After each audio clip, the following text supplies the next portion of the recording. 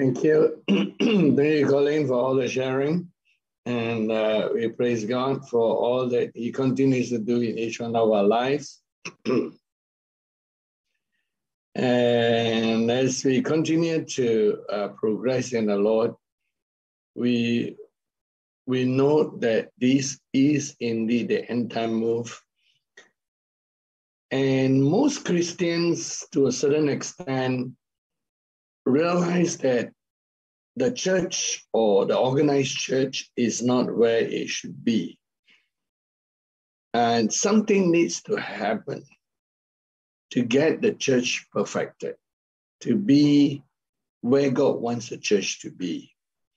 And even in the early days of ministry, when I was doing uh, uh, various uh, evangelism and uh, meetings and travel from various places, there's always been a knowing that despite all our best efforts, no one mm, is successful in bringing the church to its perfection where we want it.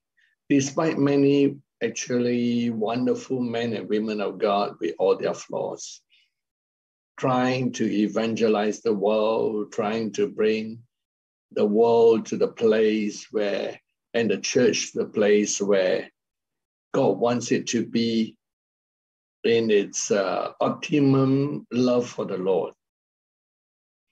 And suddenly, this uh, unexpected move of God comes upon us in 2012 together with the release of uh, the last part of the Seven Thunders message, which the Apostle John wrote, that uh, is was hidden until our modern times.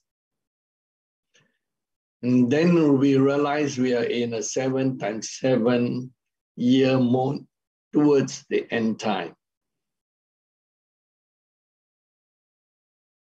And so here we are. We're past the first seven years. We're into the second of the se- second set of seven years. And we're seeing the world taking its shape. And I use one of the angel's words when the angel was revealing to us what was happening. The angel regards these first three set of seven years as the alignment of the world, where countries have to be where they are, people have to be where they are, ready for God to bring this move about.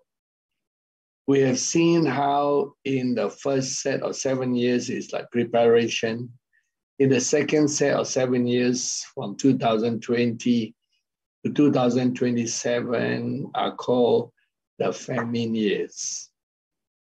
And indeed, at the beginning of, uh, actually began slowly in 2019, but it hit in its fullness from 2020 right up to this year, 2022. The whole world suddenly was affected by COVID 19. And this year, just as people are thinking about coming out from COVID and things returning to normal, suddenly in this year, there's a war of currency, there's a war between Russia and Ukraine.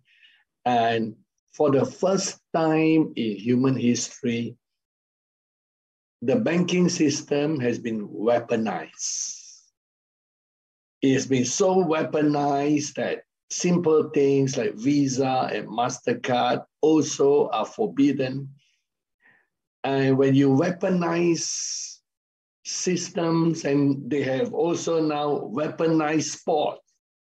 With uh, within this week, they proclaim that just because you're from Russia, even if you're anti-war, you're also banned. The players that were banned uh, the number two, was actually very vocal that he does not support the war, but he's still banned. So they have weaponized banking system, they have weaponized currency, they have weaponized sports. And what else is there to weaponize? On um, so people like to paint the world in black and white. Now Russia is painted as black, Ukraine is painted as white. Of course, we know that there is um, a problem that is there, but the problem has been existing before this war. The Crimea problem and uh, the two problems of the uh, Russian um, uh, population, uh, high about a uh, high Russian population area in Ukraine, has always been a problem since the breakdown of the Soviet Union, which is way back in time for us. We also know from our history and US history that when the US fought its war against England to be free from the UK and become an independent nation, that after that, they have their own civil war to establish their standards of uh, anti slavery and freedom from slavery. And so each, each uh, country has its own e- evolvement. And uh, Unfortunately, sometimes in the news, they're either pro this or pro that. And as a result, sometimes they don't realize that, that within Ukraine, before the president, modern president, there was also a lot of corruption. And today, most of the battles that are fought are sometimes fought not with the official Ukraine army, but by militias and there is, and, and, and I look further, I realize that some of these militias will be ungovernable. And there's an interviewer who go to them now because now they're all anti-Russia. Anyone who's pro-Ukraine is welcome. And this reporter went to them, and then he realized these people who are fighting the Russians are just so people who love to fight. Some of them are ex-prisoners, some of them are very violent people, and they just love a good fight. And as he interviewed them, he asked them, why don't you become the official army of Ukraine instead of being a, a volunteer rebel group? And then they said they cannot fit in. And then they asked a question, after the war, what will you do? Uh, will you join the army? He says, no. So you can see that even if the war ends officially, they will be ungovernable because now they got weapons. Almost like in Syria, once the militias are formed, it's very hard to govern. And you can see that the old problem of corruption will come back. It is just like Iraq the world sees the cruelty of Saddam Hussein and his sons against the people of Iraq. But behind it are not humans. Behind it are demons giving thoughts to people and sometimes possessing people that cause the cruelty. So after Saddam was defeated, when the US soldiers took over the country, they themselves also began to display the same cruelty to prisoners of war. And they have their own trial. So you ask a question why is it that people keep repeating the violence of a place? It's because demons, fallen angels, are ruling over certain areas. And if a place is violent, whether it be group A, group B, group C, as long as the demons are not exorcise, the demons will just get group A to, group A is defeated, will get group B to do the same thing group A did. And group C will do the same thing group B and group A does. People forgot to see the spiritual picture behind what's going on. And anyway, all these have been permitted by God, as I've shared before, so that the nations of UK, Germany and France will rise in the midst of this war. But there are other things that I mentioned about the war on currency. And for the first time, even Israel is now keeping some of its savings in yuan. Do you know that is historically breaking? And a lot of countries are now turning to the yuan, but they are not doing it happily. They're doing it unhappily because many countries look and say, if you can do that to weaponize the banking system against Russia, who is to say you won't do it against us? So now people and countries are very cautious. They are trying to put their eggs in more than one basket instead of just in US dollars. And as a result, it will cause the US dollar to keep falling. All the rise that you see are temporary rise because people have no choice. But if right now you have a strong currency of choice, people would take it. And there are strong currencies outside. And Israel, for the first time, has invested some of their savings in yuan, Chinese dollars, and in Australian dollars, and uh, in other currencies. This is a changing world right in front of our eyes without many people realizing what's going on. And when Russia began to value its uh, currency, where 5,000 rubles equals, I believe, a gram of gold, their currency suddenly started rising too, despite all the sanctions. The world is changing. Last year, it was COVID. Last two years, it was COVID, 2020, 2021. Uh, we're into the third year of this, um, uh, if you count 2020, of this seven year famine. This year, we see the war on money and currency as we predicted from early this year. So, all of us have to watch very carefully because it's a time when the world becomes more and more destabilized. Russia now has its own quote unquote visa system, master, they call it something else. China has its Union Pay. And the world is beginning to realize you cannot just use MasterCard or Visa card anymore. It is a changing world. And at the same time, the cryptocurrency battle against fiat currency is still going on. To see which currency, at the end of this war on money, which will take place in this year 2022 to 2023, in the end, there can only be one or two currencies that win.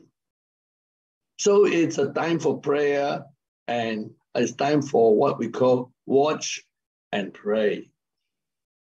Now, while all these things are going on, we know that the third set of seven years are war years. They'll be even more difficult to handle than this set of famine years. So please prepare yourselves. The tsunami is going to take place at, in the midst of the war years. And all that we see is only preparatory. I can see that even if the war ends now, there will be instability in Ukraine because of the militias. They are going to become ungovernable. You know how sometimes everyone can fight on the same side? But after the war, they become enemies. You see in the Second World War that communism was, uh, Russia was on the same side, Russia and China was the same side as the Allies. But immediately after the Second World War, and with nuclear power coming in, the Cold War begins shortly after because Russia becomes an enemy and China was looked up as an enemy. And not too long ago, under the presidency of Trump, China was made an enemy. And people forgot to differentiate that the government is different from the people. I'm sure there are a lot of good Russian people who are against the war, including tennis players. But when you don't differentiate between the government of a country and its people, it is a big philosophical flaw. A flaw that will cause wrong decisions to be made by political leaders. When we don't differentiate between the politics of a country and the people of the country who might not support the political system, then we are making a philosophical error, which will lead to policies and decisions that are destructive. And that is happening in front of our, our eyes. So, what should we do in these end times? One of the things that God predict about this end time move are several things. And of the many things, I would name the first foremost three things. This end time move before the coming of our Lord Jesus, which includes the rapture, will have tremendous signs and wonders. That is number one. This end time move before the coming of Jesus will be accompanied by number two, a great financial breakthrough for the people of God because there are Bible scriptures to fulfill, like Isaiah 60, where the new Israel, circumcised in the heart, will experience Isaiah 60. I've examined a lot of the prophecies of the end time that the Lord has shown, and in none of them, zero, none of them can Israel fulfill Isaiah 60 as a nation. There's no way it will ever happen. Because after the war, Israel might be neutral now, and you'll be surprised that Israel is very pro Saudi Arabia because Saudi Arabia is the only country of the Arab that supports Israel's existence and independence as a, as a nation. So it's growing closer to Saudi Arabia, which might not be the best for it. But I can see after the tsunami period when Russia and China rule the world, that there will be a war between uh, Turkey and Greece. Uh, and in that time, Israel will also be dragged in. And so there will continue to be instability, even in the Middle East, until the Antichrist comes and bring a sort of pseudo peace. But there is zero time at all when Israel will fulfill Isaiah 60. Isaiah 60 belongs to the church. In a tiny, small way, Israel will fulfill it during the fourth set of seven years when Egypt and Syria fulfill the Isaiah 19 prophecy. And that would take place about beginning, parts of it begin in the second, third set of seven years and the fourth set of seven years, which the angels are now preparing for. It's good to see the angels at work and the things that God is bringing for. So, number one, the end time move is accompanied by great signs and wonders. Number two, this end time move will be accompanied by great breakthroughs in the financial world and in the wealth that God gives the church to establish uh, the visions of the white building that God has shown. Number three, this end time move will also mean the tearing down of denominational walls between true Christianity so that Jesus' prayer for the church to truly be one in John 17 takes place.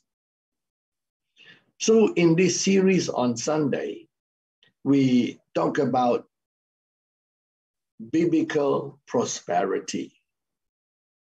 And as we speak about biblical prosperity, I want to point to one more fact before I enter into the topic uh, in detail to continue on this series. Recently, God has been showing me another of his created beings called the galactic beings, for lack of a better word. We were the first to define things in the spirit because we need more vocabulary to describe some of the things God's revealing. And in the early days, all we know are angels, different type of angels. But I noticed that there are angels in charge of plants and in charge of um, uh, the molecular structure of matter. And for lack of a better word, I call them spirit beings. So we begin to understand they're spirit beings and they're involved in signs and wonders, healing and miracles, especially when it has to do with the manipulation of molecules and atomic structure of created uh, matter. So we're angels and spirit beings. And of course, within each grouping, there are many, many subdivisions of spirit beings. Just like subdivisions of angels, archangels, and all that. But there's this other group that God actually tried to show. and God tried to show a lot of things, but um, revelation and the instruments that God bring the revelations through fail in picking things up or pick things up inaccurately. And so uh, recently, uh, over this past month, God has been taking me into the area in the spirit and is out there in space to see the work of these galactic beings, for lack of a better word. What are galactic beings? Galactic beings are beings that are energizing the galaxy. And under them are also beings energizing the planet Earth, the sun, the moon, the stars, and every star, behind every star is a created being energizing it. so all these are gathered together under this galactic beings. When God first created this universe, energy came forth from God. So visualize energy coming from God. And then the energy began to gather together in a place, and then it began to circulate, and then it goes on from there to other places. And so God began to create various areas. It is this galactic that gather the energy into pools, and then within that, the angels and angels function uh, within those uh, cr- created star systems or planets. So all these things are governed by galactic beings. But overall, And the reason why I'm sharing this because it's tied to something very important that I call New Jerusalem. So God showed me that there are myriads and myriads of galactic beings of different sizes. And their role is to gather together matter and energy to form a galaxy, to form sun and stars. And um, so in one galaxy, there could be a trillion stars, also a trillion other smaller galactic beings under them. They can call solar beings, if you want to call them a differentiation.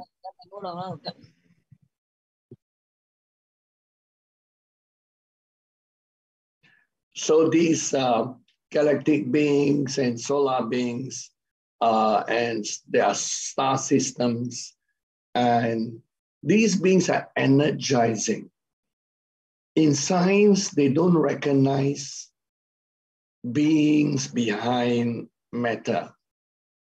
Science only recognize the laws of physics. So they're inanimate laws as far as science is concerned. And the world has moved in its uh, philosophy to different extremes. At the beginning, when mankind first fell away from God, there's an understanding that behind every created being are other beings, life giving beings. That was a basic philosophy. And those were the days when they understood that water, fire, earth, air, and all these are divisions among them. Do you notice how common it is, whether it be the Greeks, uh, the Indians, the Chinese, or the various Western cultures in its long, long forgotten days, that they believe in earth, fire, water, uh, air, and some got more, some got less. Uh, do you realize how common it is in the belief system of all cultures when you trace back to ancient times. It is because some of their understanding, a lot of it is all perverted now. Some of it came from the truth of understanding that all things are created by beings and uh, by God and the beings energized. But when man fell from fell from from God's righteousness and holiness into sin, that philosophical view became polluted. And man began to worship the stars, the moon, and, and trees, and rocks, and mountains. So man began to worship all those things, which was against God's law. And after that, man began to digress and became fearful. They are fearful of demons, fear and call them gods, fearful of fallen angels, and they call them gods, fearful of created objects, and they begin to bow down to worship trees and mountains and rocks and creation of their hands and moon, the stars, the sun. They begin to become moon worshippers or sun worshippers. All that is against God's law. So everything became corrupted from their understanding. Then man moved to the opposite side, which is close to where we are in our modern era. Men don't believe in a God anymore.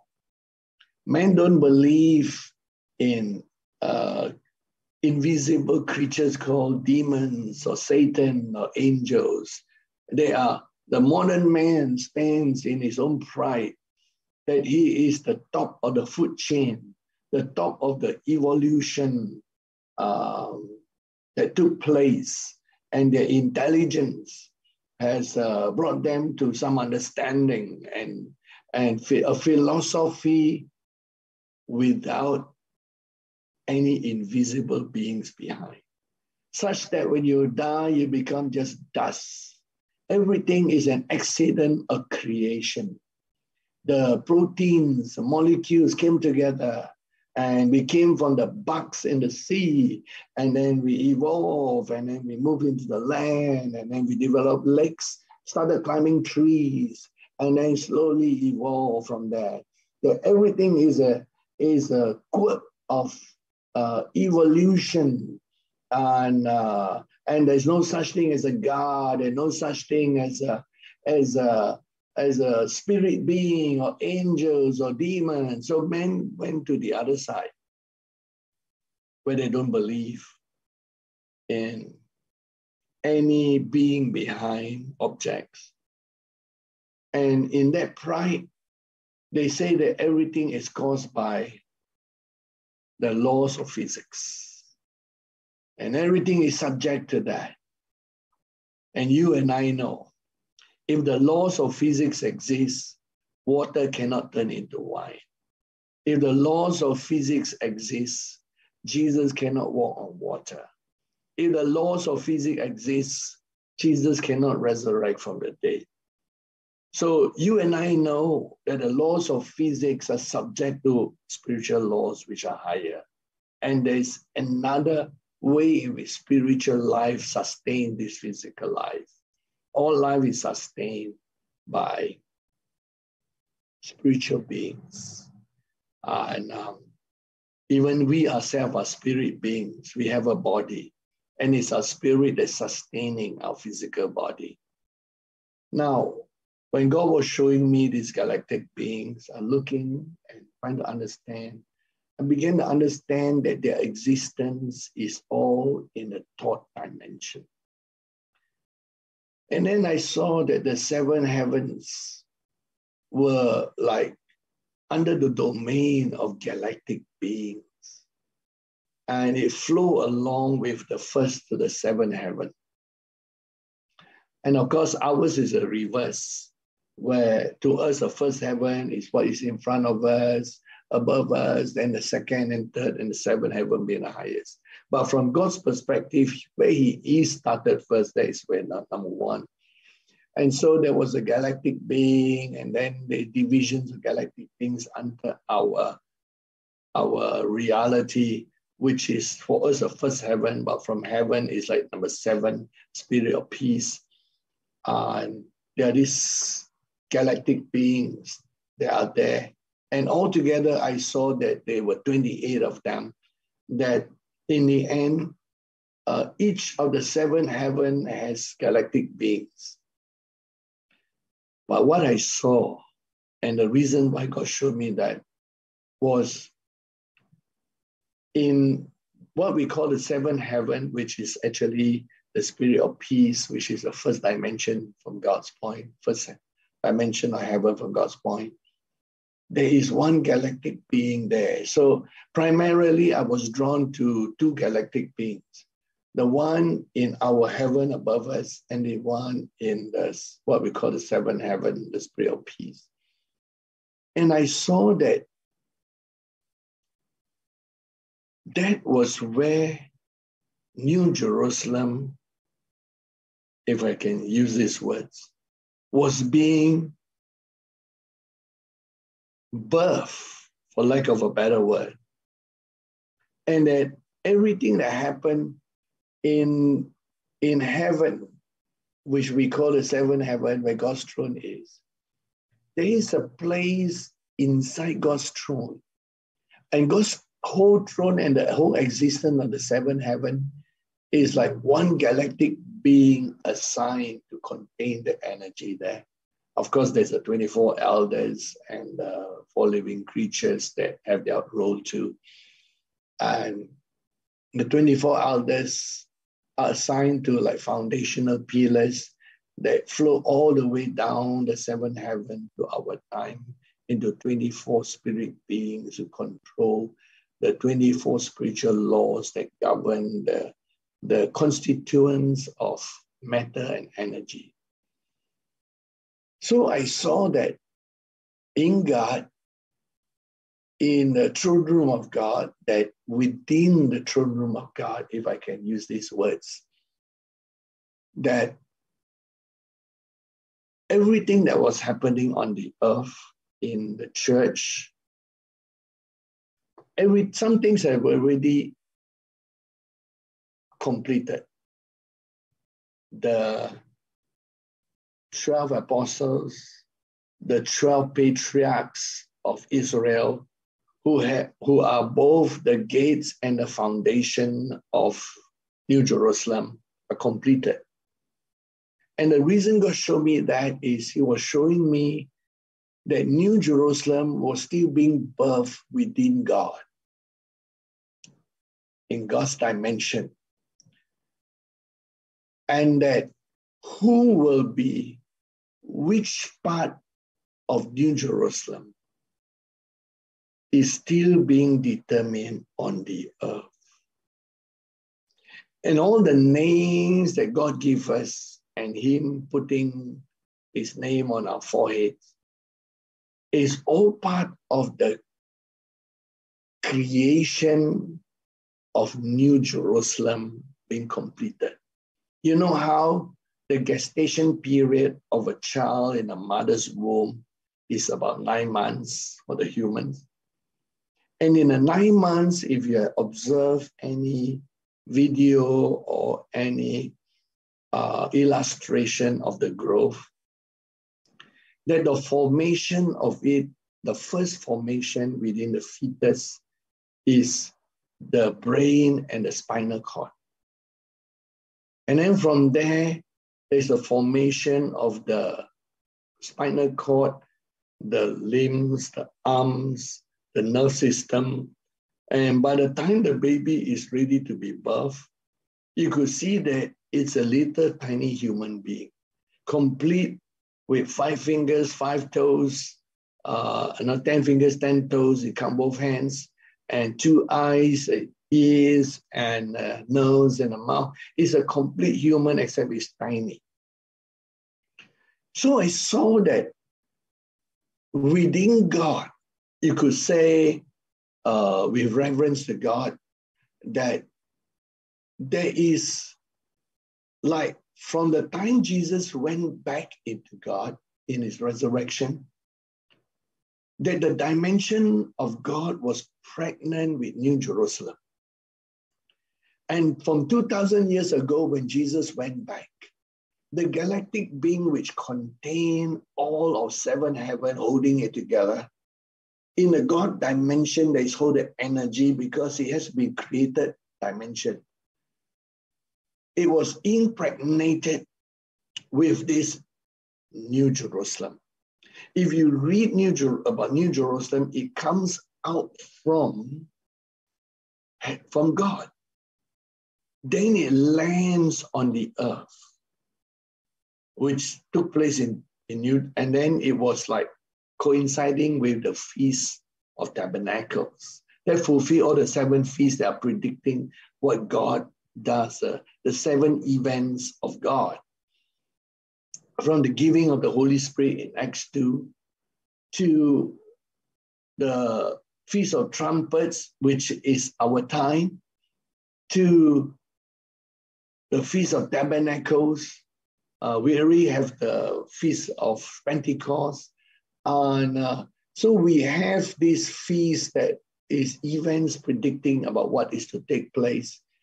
And I saw that New Jerusalem is being formed. But who will take part and be it the part of New Jerusalem? Potentially, some of those who got into this move were potentially some of its pillars. I saw, God showed me their names taken away. And they will move to other parts. Hopefully, they don't fall off the scene. And God is looking for pillars different formation of parts of New Jerusalem. By the time New Jerusalem is birthed forth in new heaven, new earth, it is like the birthing of a special creation of God, the most special. It is like the whole universe now, with all its realities that we experience, in all the seven heaven, exists for the purpose, like for as a womb, to bring forth new heaven, new earth, and especially New Jerusalem. With that in mind, may I remind each one of you if you think that this move is only about your success on this planet Earth, you haven't got the eternal view yet. If you think that this move of God is all about the glorious church, full stop, it is more than that your understanding of glorious church need to expand. If you think that this move of God is just to do God's will on this earth and be rewarded. You need to expand that. This move and who is where is, de- is determined in New Jerusalem right now through our life decision and choices. Some people have potential. like Judas Iscariot potentially was one of the foundations. But his name was taken out and even blotted out of the book of life and replaced by the name Matthias, who became one of the twelve. So let's remember that this move is not just about this life. This move is about eternity. This move is about New Jerusalem. Where will you be in New Jerusalem? Is determined by your life and existence now. So we have to live this life completely, successfully, doing God's will. And allowing Jesus to transform us into the fullness of which part of New Jerusalem we will become.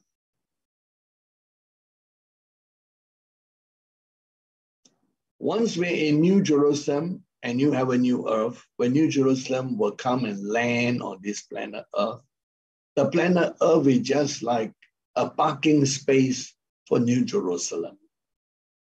And God rearranged the planet Earth as a center of the new heaven, new earth, where all the 28 galactic beings, together with the 24 elders and all the seven angels of different degrees in charge over other angels in the seven heavens, together with the four living creatures, are reorganized to reflect the perfection of perfection of Christ in new heaven, new earth. Today, we all parts of the body of Christ. And what God wants to demonstrate in this end time it's just a tiny little glimpse to the planet Earth who his church is.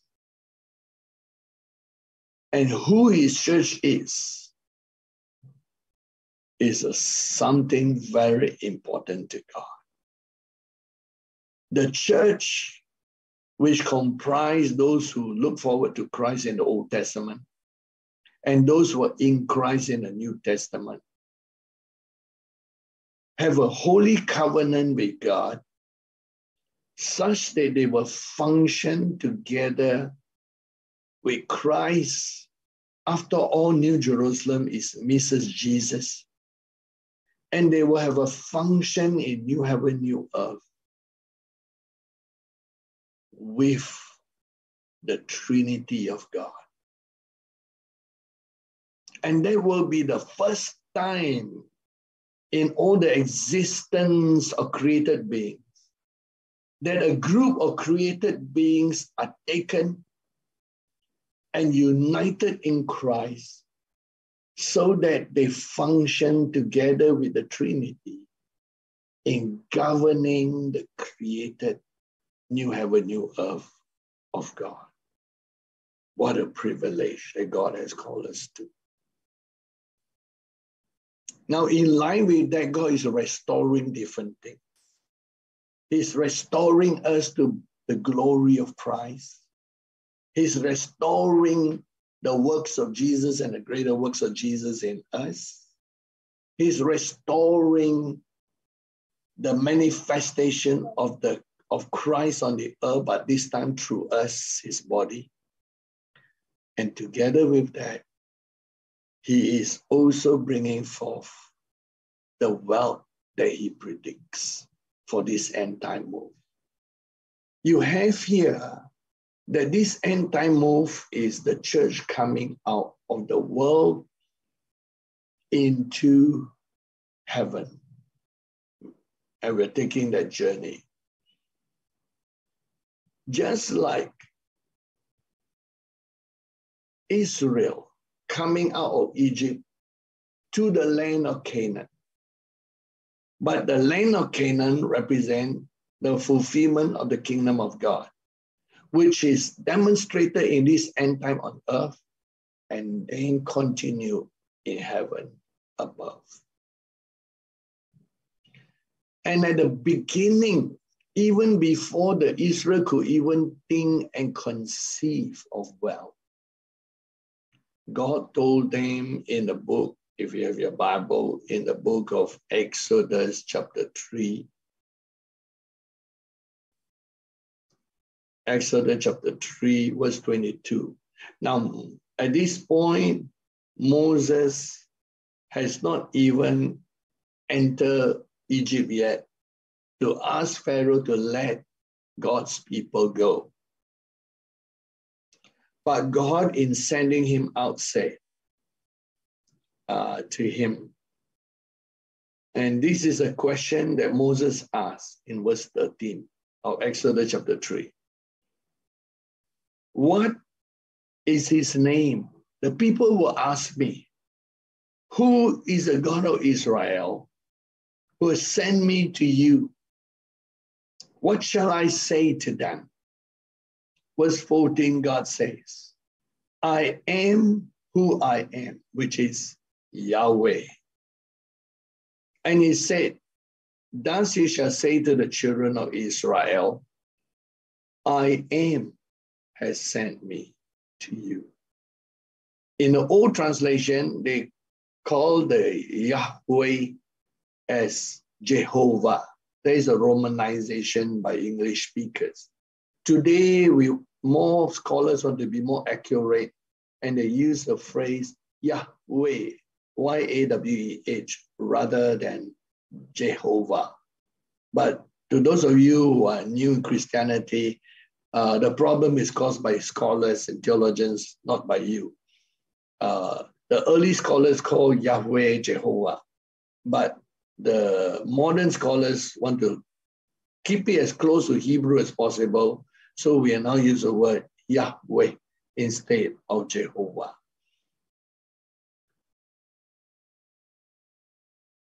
So God says, I am, or Yahweh has sent me to you. Thus you shall say to the children of Israel. Verse 15. The Lord God of your fathers, the God of Abraham, the God of Isaac, the God Jacob, has sent me to you. This is my name forever. This is my memorial to all generations. I will surely visit you, as God has promised. And then in the midst of talking about signs and wonders, say there are things that will take place. The people will go out as one. there will be signs and wonders. There will be tremendous prosperity. The three things that I say will take place. In this end time, we will leave Egypt, this world, because we're not of this world, as one. Number two, we will leave Egypt, this world, with signs and wonders. Number three, we will leave this world with the well of this world. And we will use that to establish places of worship, 24 hour worship to God. And also, it will part of sustaining 24 hour worship until the rapture. So all the resources of this planet Earth have been predestined for the church first. And after we are gone, then it's a different story. But as long as we are on this earth, we are called to this glory. And God says in verse 20, So I will stretch out my hand and strike Egypt with all my wonders, which I will do in its midst. After that, he'll let you go. God will strike this planet with signs and wonders, and the people of God will believe God and come forth to be the glorious bride. God says in verse 21 I will give these people favor in the sight of the Egyptians and it shall be when you go that you shall not go empty handed. But every woman shall ask of a neighbor, namely of her who dwells near her house, articles of silver, articles of gold, and clothing, that you shall put them on your sons and your daughters, so you shall plunder the Egyptians. So we. We will. Oh, the amount of wealth that God is bringing is so great is beyond our imagination. All the wealth of the planet Earth is coming forth. The only question is, are we able to handle it? are we able to manage it for God within the kingdom of God? You can see in a different way. God is establishing his kingdom. So he will bring all people to subject to Jesus as Lord and Savior. That's number one, unite us all under him. One God, one Father, one Spirit, one body. And number two, because it's his kingdom, God will bring all the signs and wonders of establishing his kingdom. Even Jesus, when he started his ministry, he preached, Repent, for the kingdom of God is at hand. And then he did signs and wonders. And you remember when there are some people who doubt, good people, when John the Baptist was in prison and before he was beheaded, he asked his disciples to go and ask Jesus, Are you the one? He said, Why did John the Baptist ask him, Are you the one? When he was the one who proclaimed, This is the one, and God showed me. Because what you receive under the anointing and proclaim, all of us have our own inner theology. But let me read this part first before I took the passage of John. God promises and says, articles of silver, articles of gold, clothing, you shall plunder Egypt. So there's this wealth that is coming forth.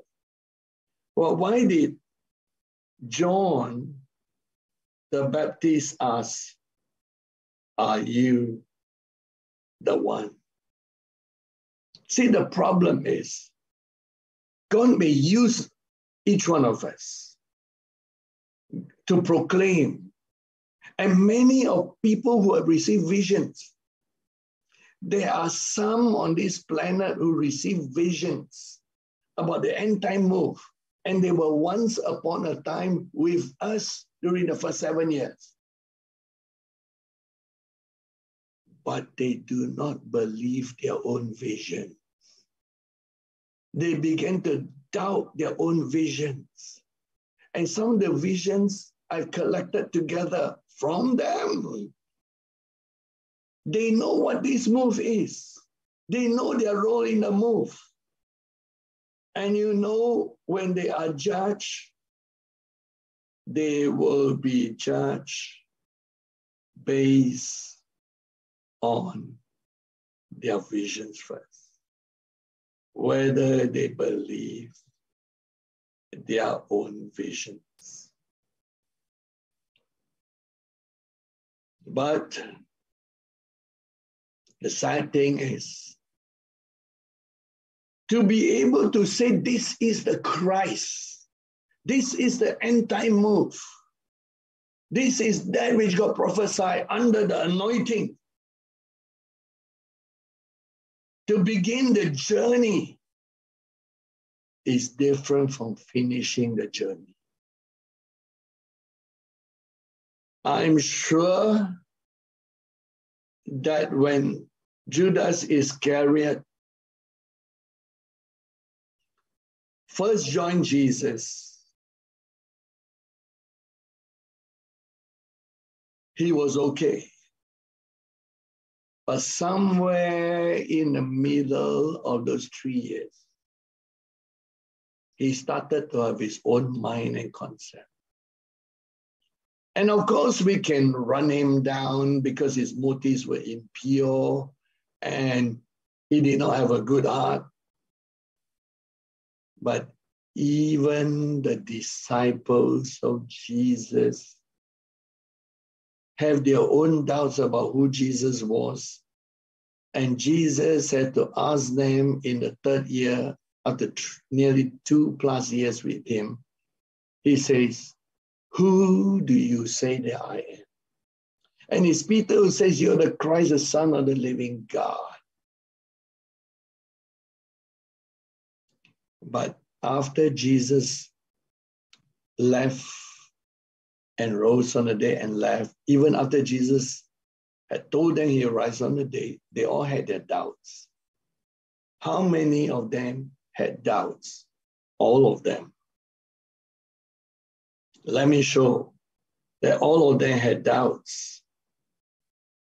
When Jesus appeared to them, and uh, they saw Jesus in the book of uh, Mark, chapter 16.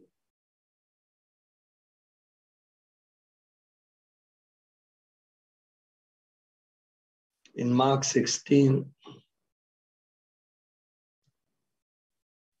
it says that Jesus already uh, began to appear to them in different ways.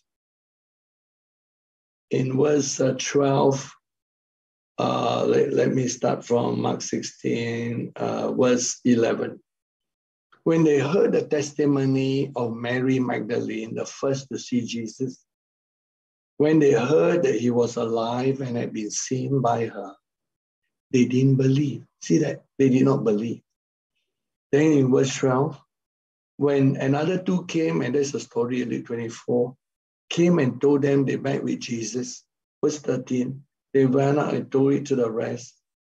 But they did not believe them either. Then in verse 14, finally, Jesus appeared to them.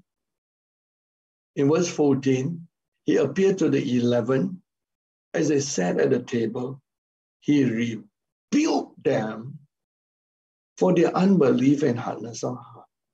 Because they didn't believe others who told them that he has risen from the dead. Come on, you think Mary Magdalene was lying when she saw Jesus? You think the two disciples on the way to Emmaus in Luke 24 were lying when they say they saw Jesus? They were not. And here, Jesus said, Why didn't you believe? At least you should start believing before I appear to you. And that's the same reason why you might believe at some point. Remember the four type of ground? There was one type of ground that believed at first, and then you don't have enough roots. So there are those who believe but don't have roots. That's why they cannot last long. Sometimes you think a person got roots, but they have no roots. John the Baptist had proclaimed that Jesus Christ is the Christ. But when he was in prison, he wondered, is Jesus really the one? See, just because you have a vision, a dream, an appearance of angels, a download, does not guarantee that you believe. You see, huh? Because believing is a choice we make. You have to choose to believe. And one of the things that prevent a person from believing is wrong thinking, wrong theology that prevent the heart from believing. Think about this way. What was the current theology when Jesus first came? The current theology of the end time, when Jesus first came around 4 5 BC, Jesus born, and then around 27 AD, Jesus began his ministry and they confronted him the current theology was that when the Messiah come, he will set up a physical kingdom. and then he will make Israel great. he will reign like David. And he will make us the greatest nation of the world. That was their theology. So that even when Jesus was ascended on high in Acts chapter 1, they all were asking Jesus just before he went to heaven. They had spent, well, at least nearly 40 days and nights with him after his resurrection. And they asked Jesus, What about Israel? That question came from their theology, their misunderstanding of why Jesus came. They could not see. In the end, they were told, don't worry about Israel, because Israel was never a nation until 1948. Even at that time, in Jesus' time, they were like a tiny province under the Roman Empire. So everyone was wondering when Israel become a great nation again. That was their theology. They were limited by the thinking of the people in their time. The same way today, we must not be limited by the thinking of the people of traditional Christianity of our time. We need to expand our thinking, not outside the Bible, but inside the Bible to see what God says our end time is. I want to repeat this tiny section, if you don't mind, because sometimes I need to emphasize some things. In the book of Daniel, chapter 2, it is obvious that there is a prophecy about the kingdom of God being established in our modern era. In chapter 2, verse 44,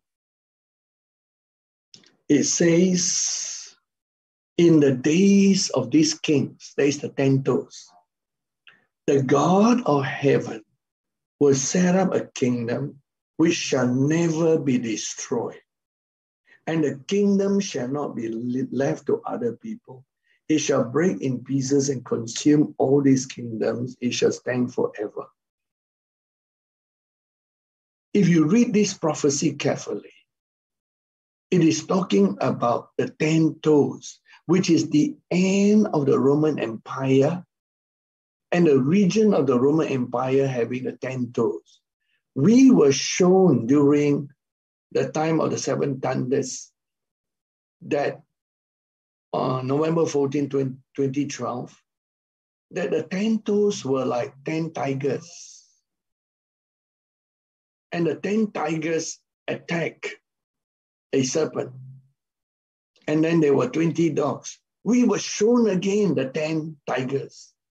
Now we know these 10 tigers, these 10 toes, which are the 10 horns in Daniel 7, chapter 7. They are the same thing. And these 10 horns, the Lord told me, only exist after the Second World War, which is 1945. And after Israel was reorganized as a country in 1948. And the Lord reminded and said that He said, in the generation that sees these things, that generation will not pass away until he comes again. So, 1948, a generation is 100 years to 2048. The Lord showed us exactly when the season of the rapture is. And in 2048,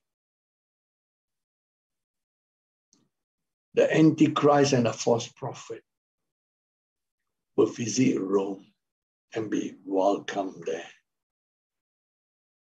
Then, subsequently, later, in 2055, they will be welcomed into Israel, almost like, quote unquote, the false Messiah. But to them, it will be like the Messiah for they would have brought peace to the planet.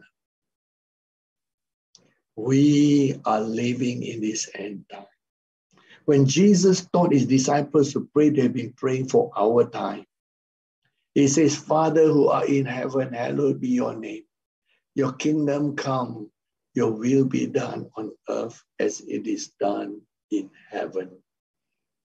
He was getting thousands upon tens of thousands and millions who pray the Lord's Prayer that will be fulfilled in our time. And the transfiguration was about the kingdom of God. It is mentioned, and I take Luke's account, in the Gospel of Luke. Just as it was time for the transfiguration, he says in verse 27 But I tell you, there are some standing who will not taste death till they see the kingdom of God. Eight days later, he showed them what the kingdom of God is like when he was transfigured. So the kingdom of God is coming on the earth in the days of the ten toes. This is the revival that God is bringing forth. In the book of Hebrews, Paul has been praying for these for so long. So that in Hebrews chapter 12, Paul says that we are coming to the mountain, but different mountain from Mount Sinai. Mount Sinai was an allegory and type. We are Mount Zion. In verse 22, to Mount Zion, the city of the living God, the heavenly Jerusalem, not New Jerusalem yet, but the heavenly Jerusalem, which is coming to the earth, because he says in verse 27, yet once more indicates the removal of those things. They are being shaken. He says, one more time, God will shake this earth. It says in verse 26, yet once more I will shake not the earth, but also in heaven. Yet once more indicates a removal of those things that are being shaken. It's of things that are made that the things which cannot be shaken may remain. Therefore, we are receiving a kingdom which cannot be shaken. You see the word present tense, continuous tense. We are receiving a kingdom. Even Paul acknowledged that. The kingdom of God has begun in his in the church and the kingdom of God, which is us, the church. Church equals kingdom of God. Not a tiny little kingdom of one denomination here, one denomination there. The church equals a kingdom of God where Jesus is Lord. The sheep doesn't belong to that denomination or that church. All the sheep belong to Jesus. You are members in an organization of a denomination, this church, that church, the other church, the other church. But you belong to Jesus. No church or denomination can claim you as my sheep because only Jesus can say we are his sheep. And Paul realized we are receiving this kingdom that have been prayed for. And finally, in our days, God is revealing indeed the kingdom of God is coming. Because whatever we, is happening in our time has been prophesied from long ago. In Haggai chapter 2, it is mentioned here where God says unto each one of us about the times that we are living in. It says here, and I read passage from chapter 2 of Haggai in verse 21. Speak to Zerubbabel, governor of Judah, say, I will shake heaven and earth. I will overthrow the throne of kingdoms. I will destroy the strength of the Gentile kingdoms. I will overthrow the chariots, those who ride in them. the horses and their riders shall come down, every one by sword of his brother. It is in the same context that he says in verse 6 Yet once more I will shake the heaven and the earth, the sea and the dry land. And God showed us in this end time that this shaking will take place. I know the exact day and the exact year that this shaking will take place during the third set of seven years, which is the war years. A shaking that the world has never seen before. Ayers rock was split in two for where the angel is. He will storm the earth and cause a shaking, for it is time for the kingdom of God. Say, what about now? Now is beginning, is the beginnings of the kingdom. And God especially told me in this second set of seven years, from the year 2022 onwards, get ready. The, another archangel is to join you. That is part of this end time to complete the formation around this move. And I've been preparing myself. Now, as God mentions that in verse 6 and they shall come to the desire of all nations, and I will fill this temple with glory, even though I didn't know it yet. From the very beginning, when I was in traveling ministry, when I started the church, it was called Tabernacle of Glory. And then now, when I came out and reestablish it, we are now Cathedral of Glory. It's always been about glory. God gave me the name before I full understand. I will fill this temple with glory. And then the Lord says, The silver is mine and the gold is mine, says the Lord of hosts. The glory of this latter temple shall be greater than the former, says the Lord of hosts. In this place I will give peace, says the Lord of hosts, the first of the seven spirits.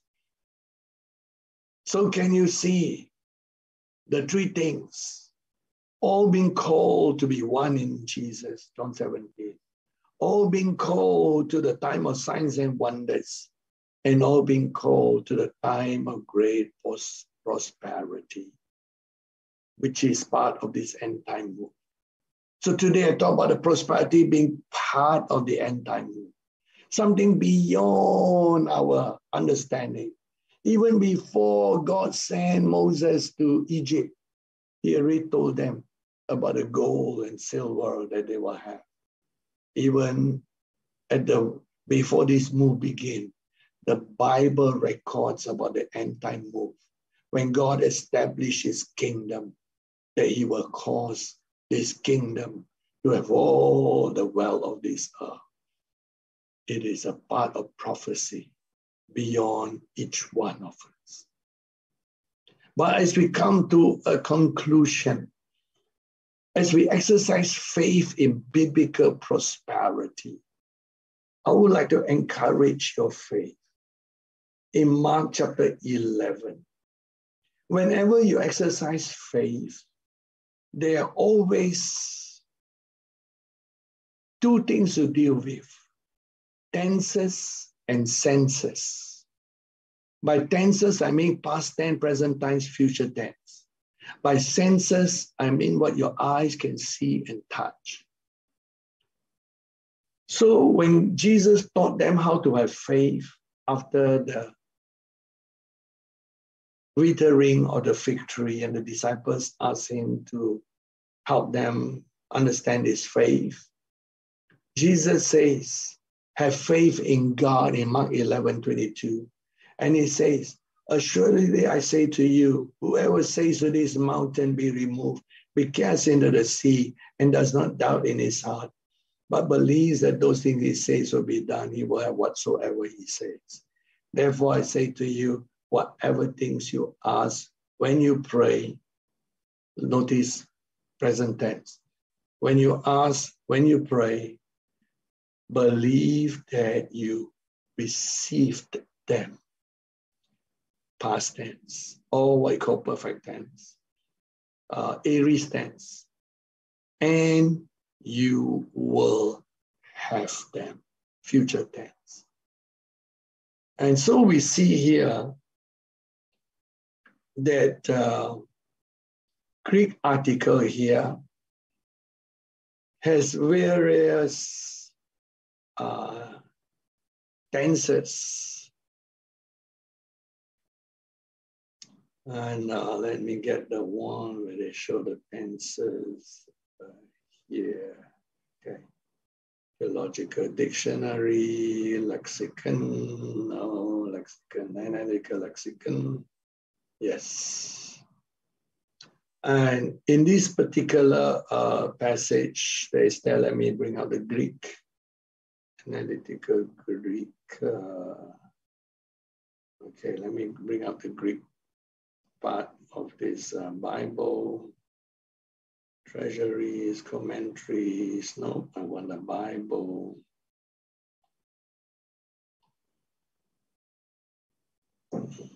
Even more.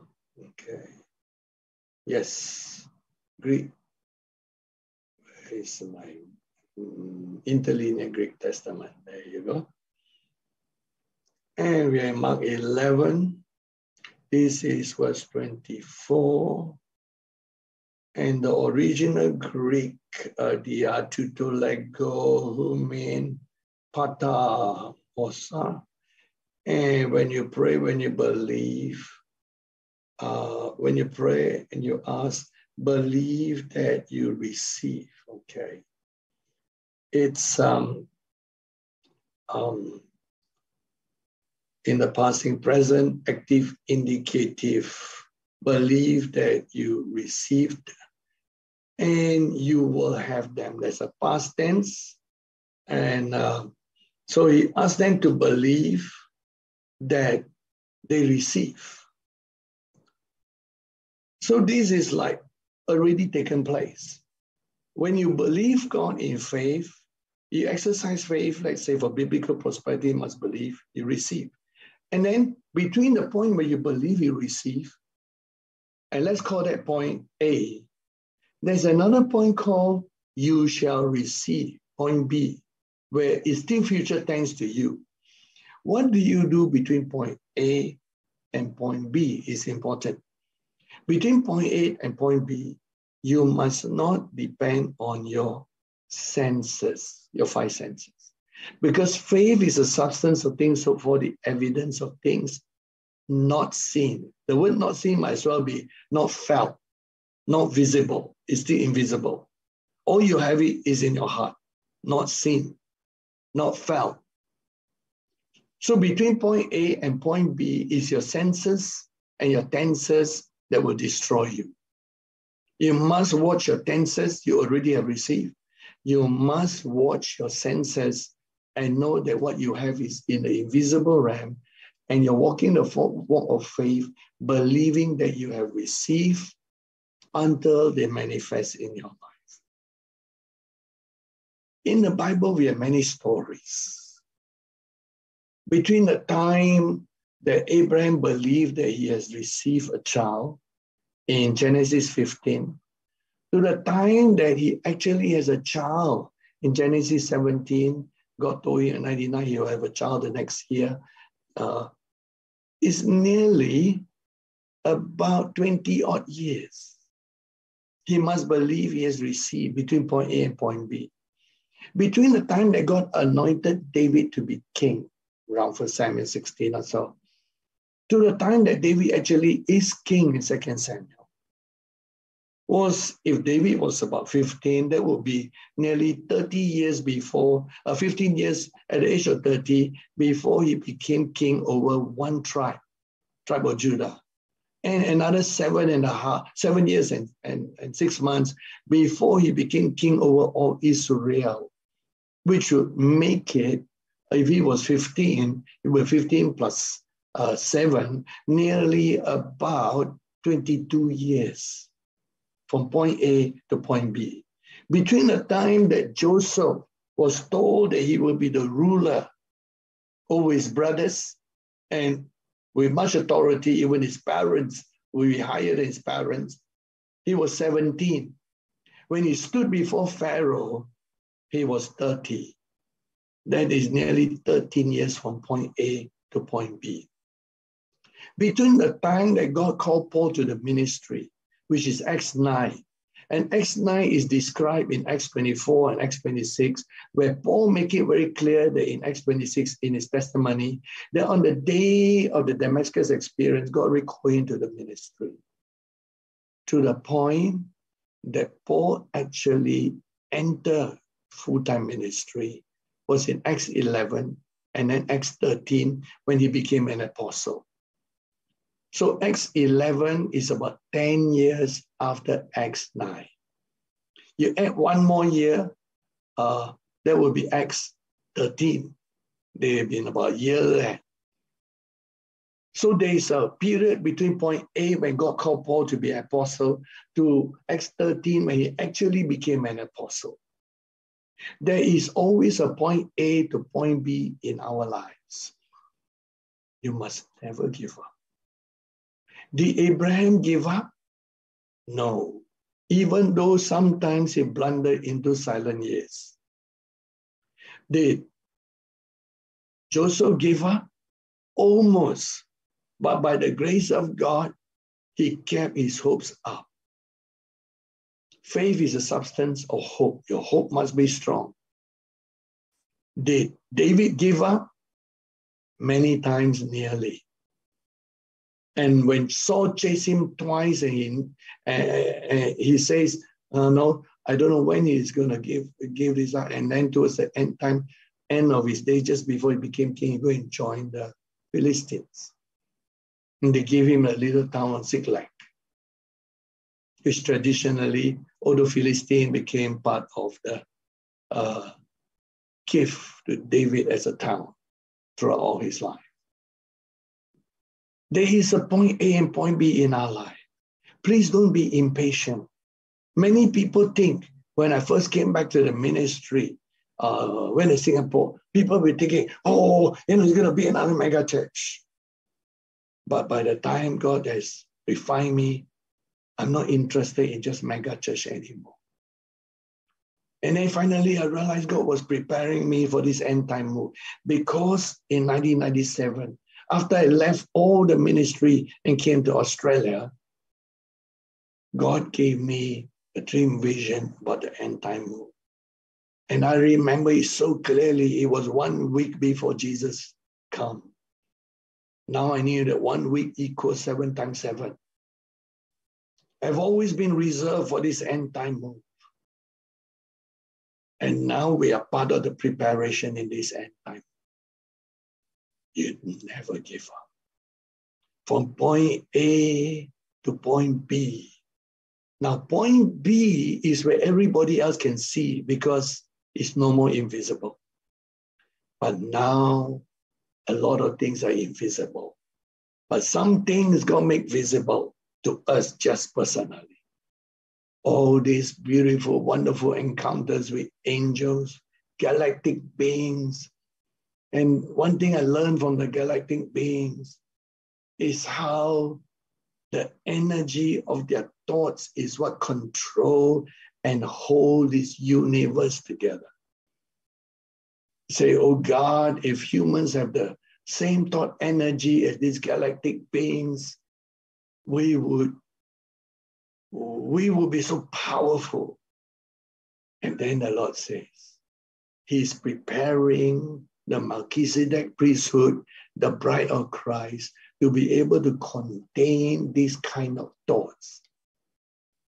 I said, wow, we really need to grow. To have this kind of thoughts they are so refined that the thought energy is moving planets and star systems around their orbits. What do we do between point A and point B?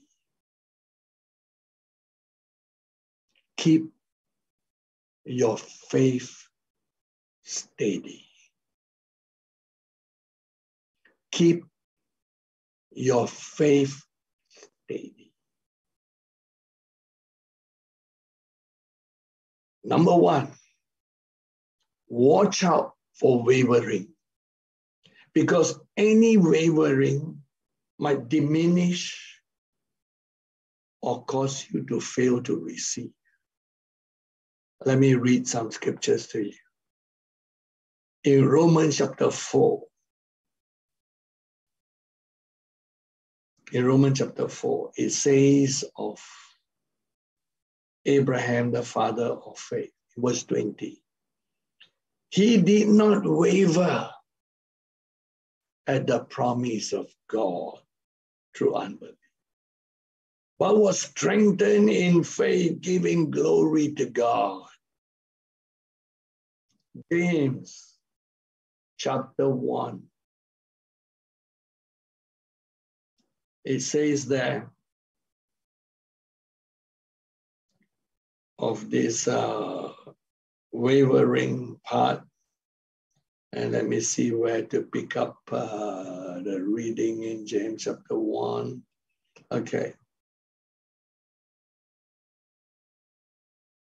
In verse 6, James 1, verse 6. But let him ask in faith, without doubting.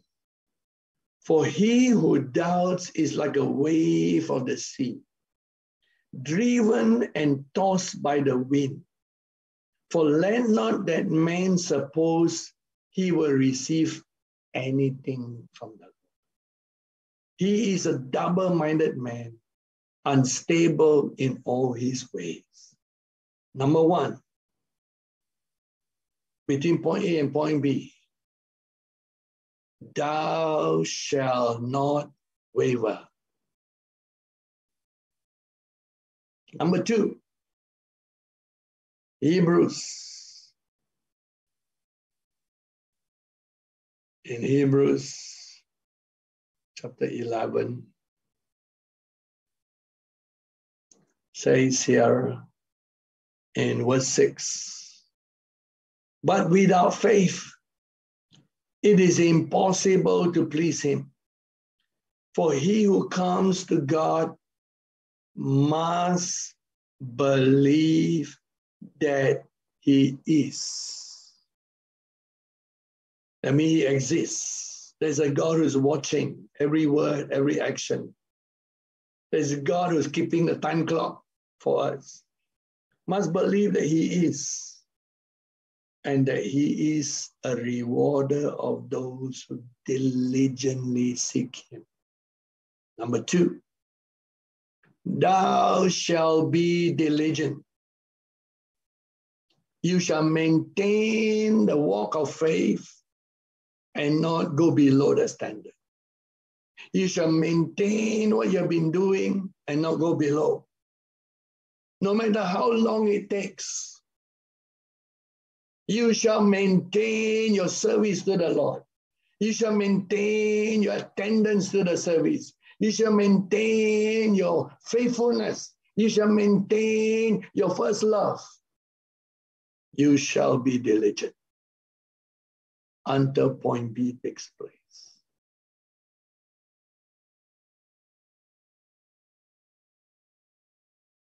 And number three, Hebrews chapter 13.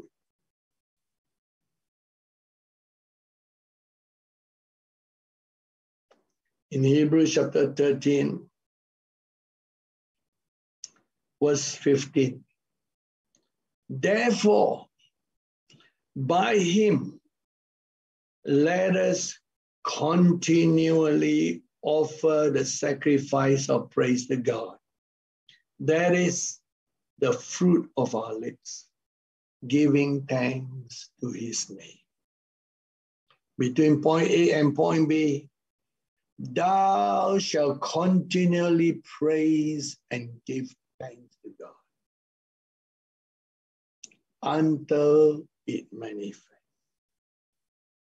So find a place, find a time, find a position. To number one, thou shalt not waver. Number two, thou shalt be diligent. Number three, thou shalt continually give praise and thanksgiving to God until you reach point B. Settle in your heart that that is what you will exist by. And you will successfully reach your point B. Let's pray.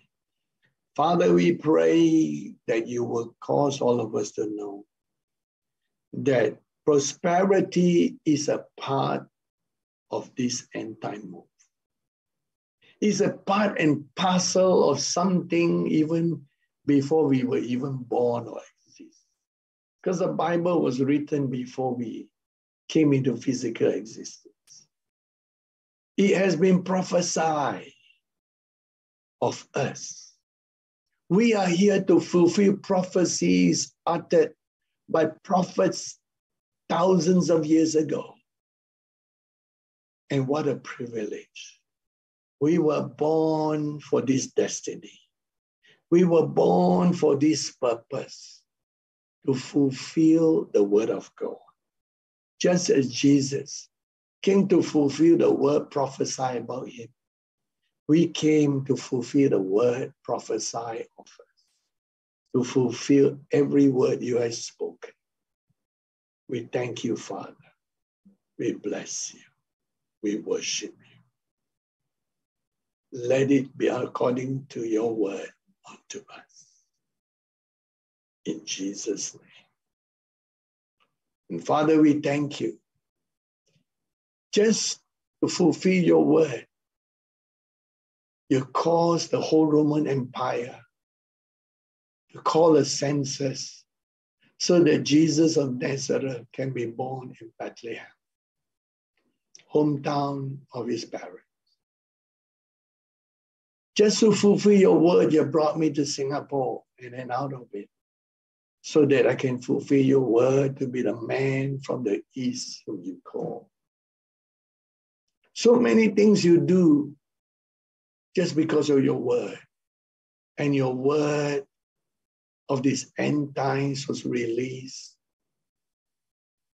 to the church of Cathedral Glory in Singapore. And we are all over the world with Cathedral Glory, Australia, Canada, and throughout every country of the world in Africa, Europe, South America, North America, and all of the Pacific Islands and Asia. You are fulfilling your word even before our eyes. You will go all the distance to ensure that every word written about us in this end time book is fulfilled. Let it be fulfilled in us. We are here to do your will, to fulfill the written word. We bless you and thank you, Father. In Jesus' name. Amen. Praise God. I pass the time to Colleen. And you can have your Q&A and Colleen did mention any prayers that we might have. I'm to get my cup of tea. All right, so um, you can unmute yourself now uh, if you want to ask a question. And of course, I think later on um, uh, we can uh, take your request for prayers, or in fact, um, if you have prayers for uh, healing, uh, do uh, bring forth them as well. And uh, you can also post uh, in the chat.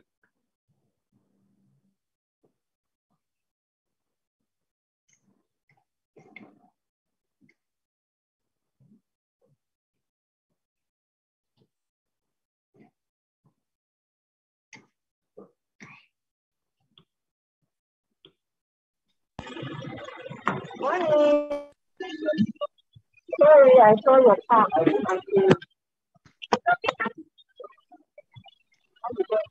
Open it up. I have a tip.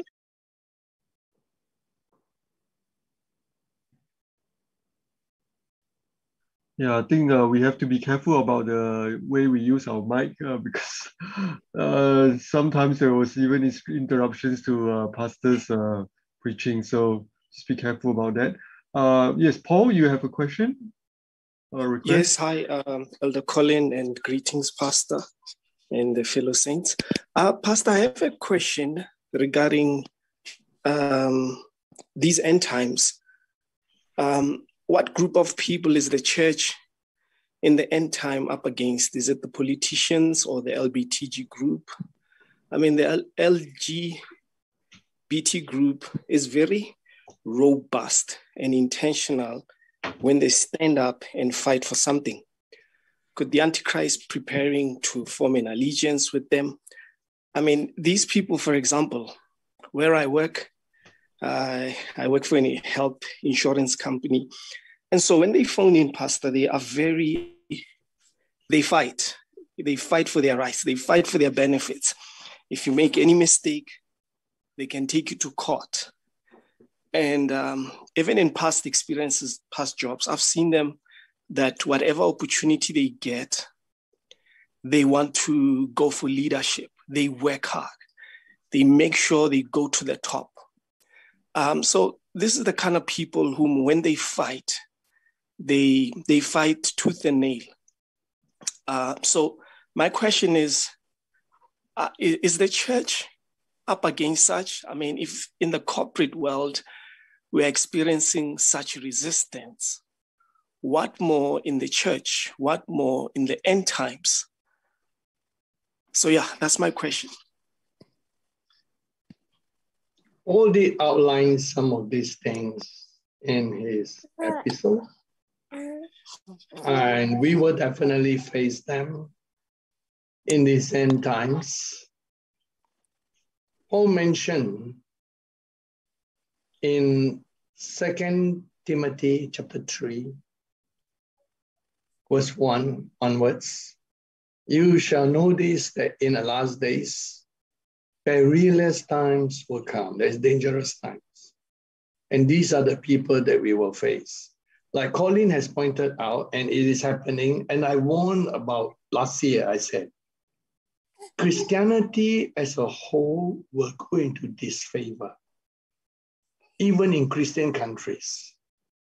So that when you stand up as a righteous Christian, people will find fault with you and criticize you. It's not like long ago when Christianity is the fashion of the day. It's no more. If you believe in the Bible or believe the things of the Bible, you're regarded as old fashioned and you're regarded as someone very backwards. So being a Christian itself is going to be an opportunity for you to be persecuted. That is what Jesus is talking about, even in Matthew 24. But let's read Paul's writings.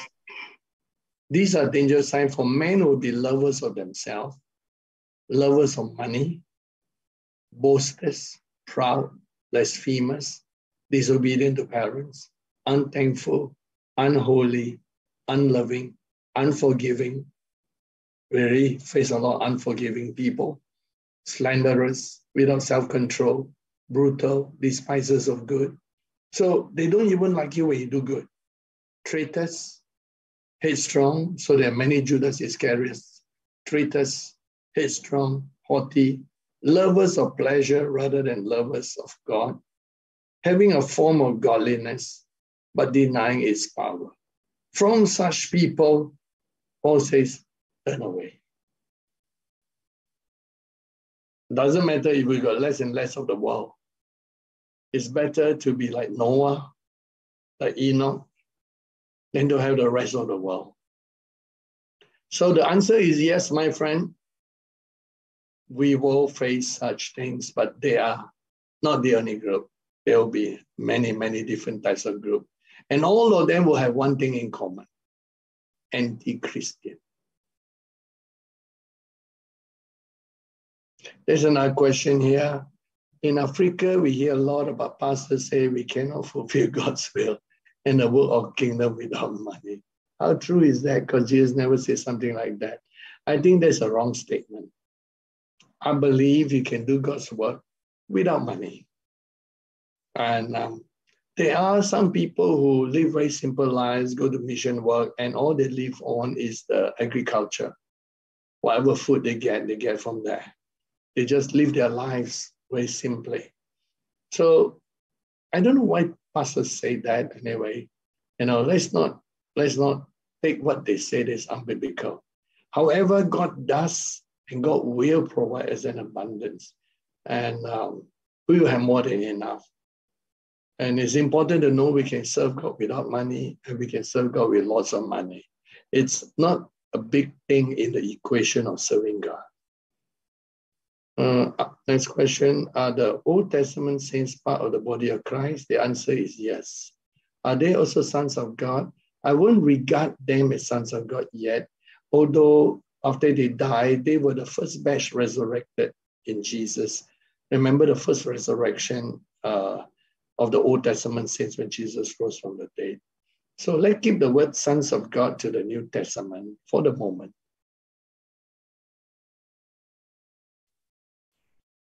Hi, Pastor. How, how are you? Hi, Alisa.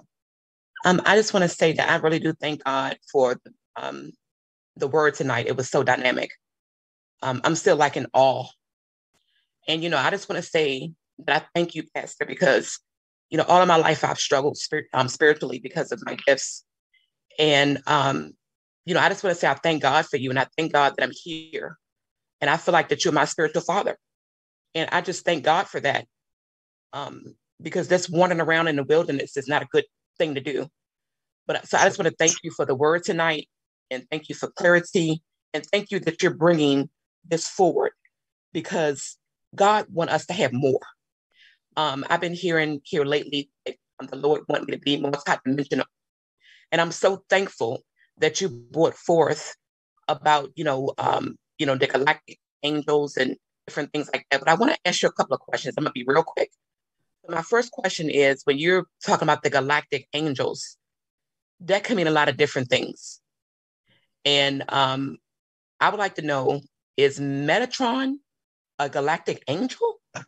or, or when you say things like galactic and about the knowledge and the mind of where you know they would want us to be spiritually are you talking about the Arcturians or who is the galactic i mean i just want to get more clarification about that because we don't want to get involved in things that are not of god but is that like the Arcturians the Pleiadians are these are the beings that's trying to bring us here on earth to higher level of knowledge and doing things like this. And I, I know that the galactic angels really work strongly in healing. When you work with the galactic angels, they can really assist a lot with healing. Um, so I just want to get more clarification about that because I know that God wants me to be more dimensional. It's like I have to know this because at one time in my life, God was trying to take me into the multidimensional realms and different things like that, but I didn't know what it was. So I rebuked it. I said, Lord, please stop. I don't know what, what this is, you know, because I'm going out into outer space and it happened in my consciousness. And I was running around out there and and I saw a portal and I looked up and I saw looked like a new earth. And I and I went up there in my consciousness and um and it looked like everything was real sparkly, it was real beautiful.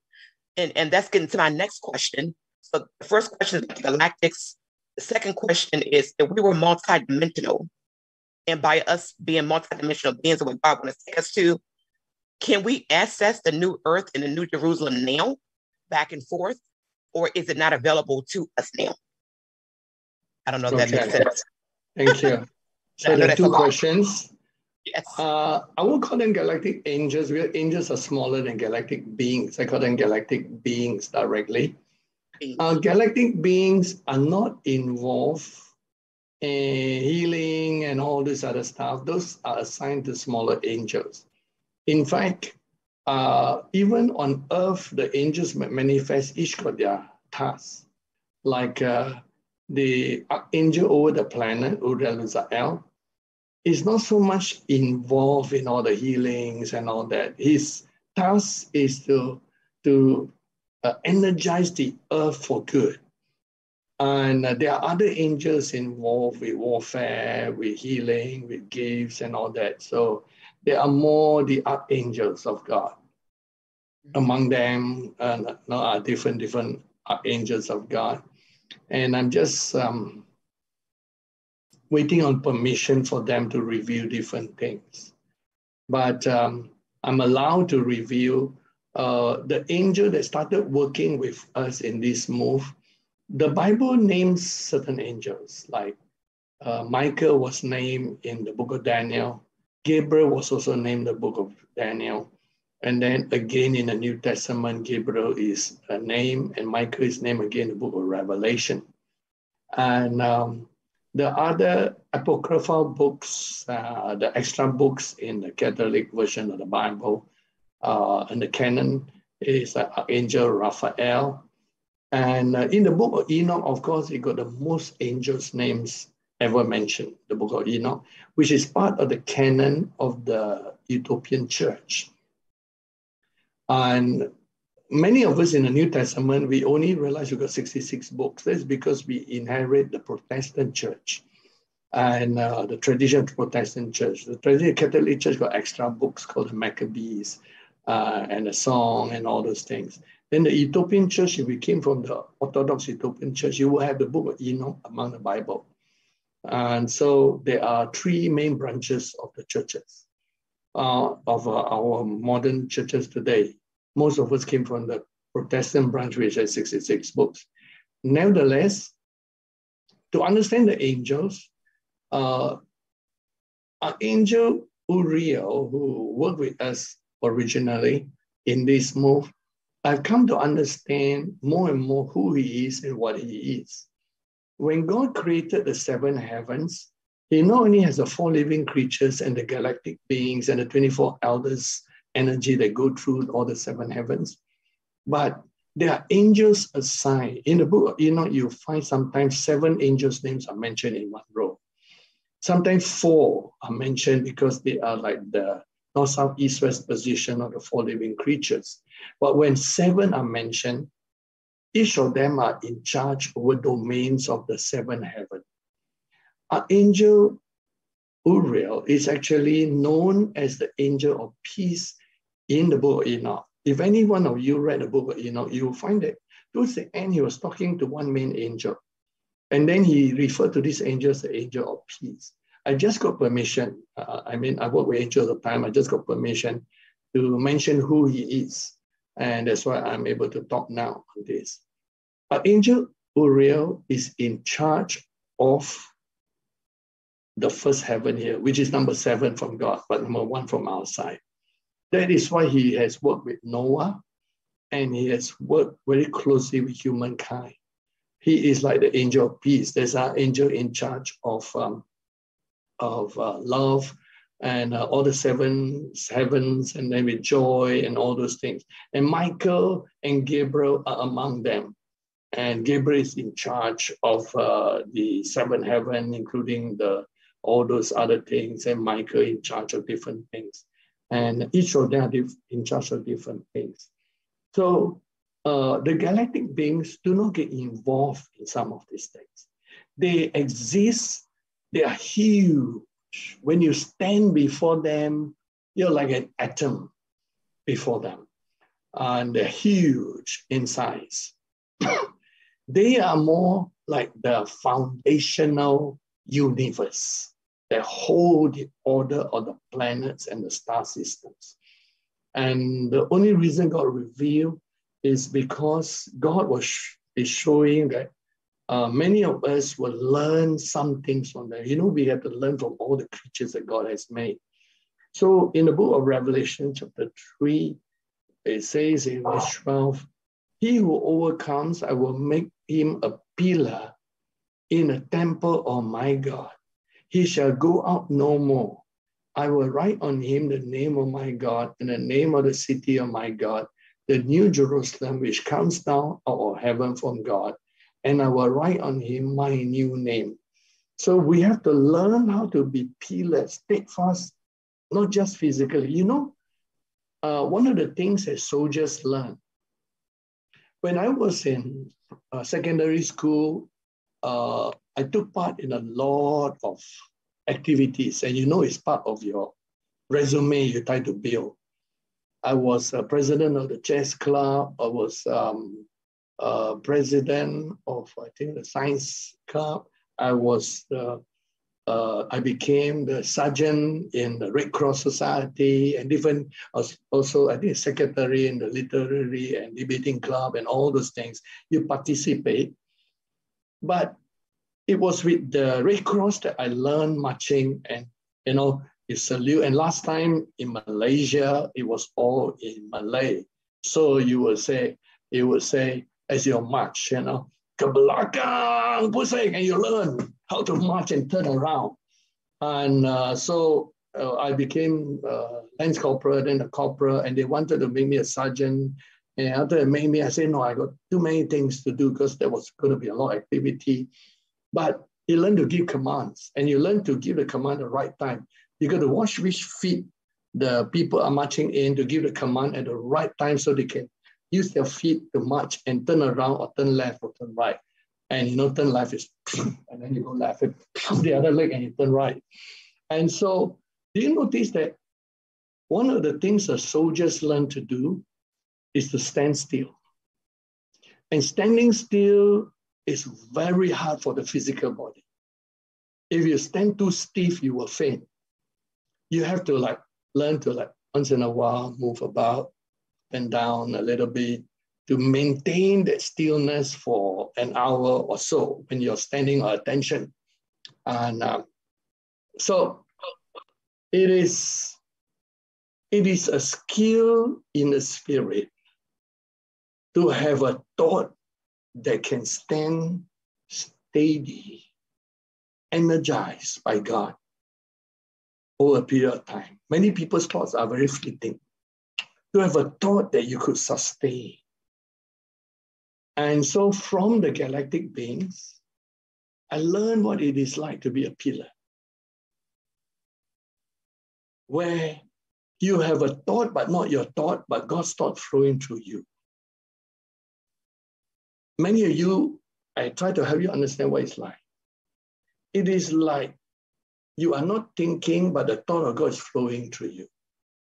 It's like when you're praying in tongues in your mind, and it's another mind flowing through yours. So it's not your energy, but it's a skill that you develop. So I learned soul skills and spirit skills from the galactic beings.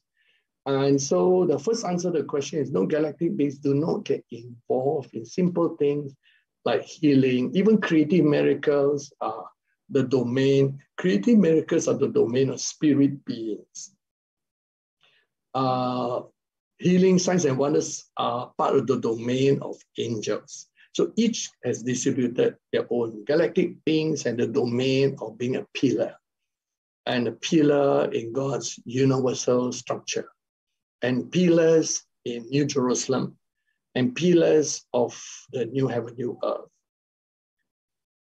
In answer to the second question, do we access new heaven on earth?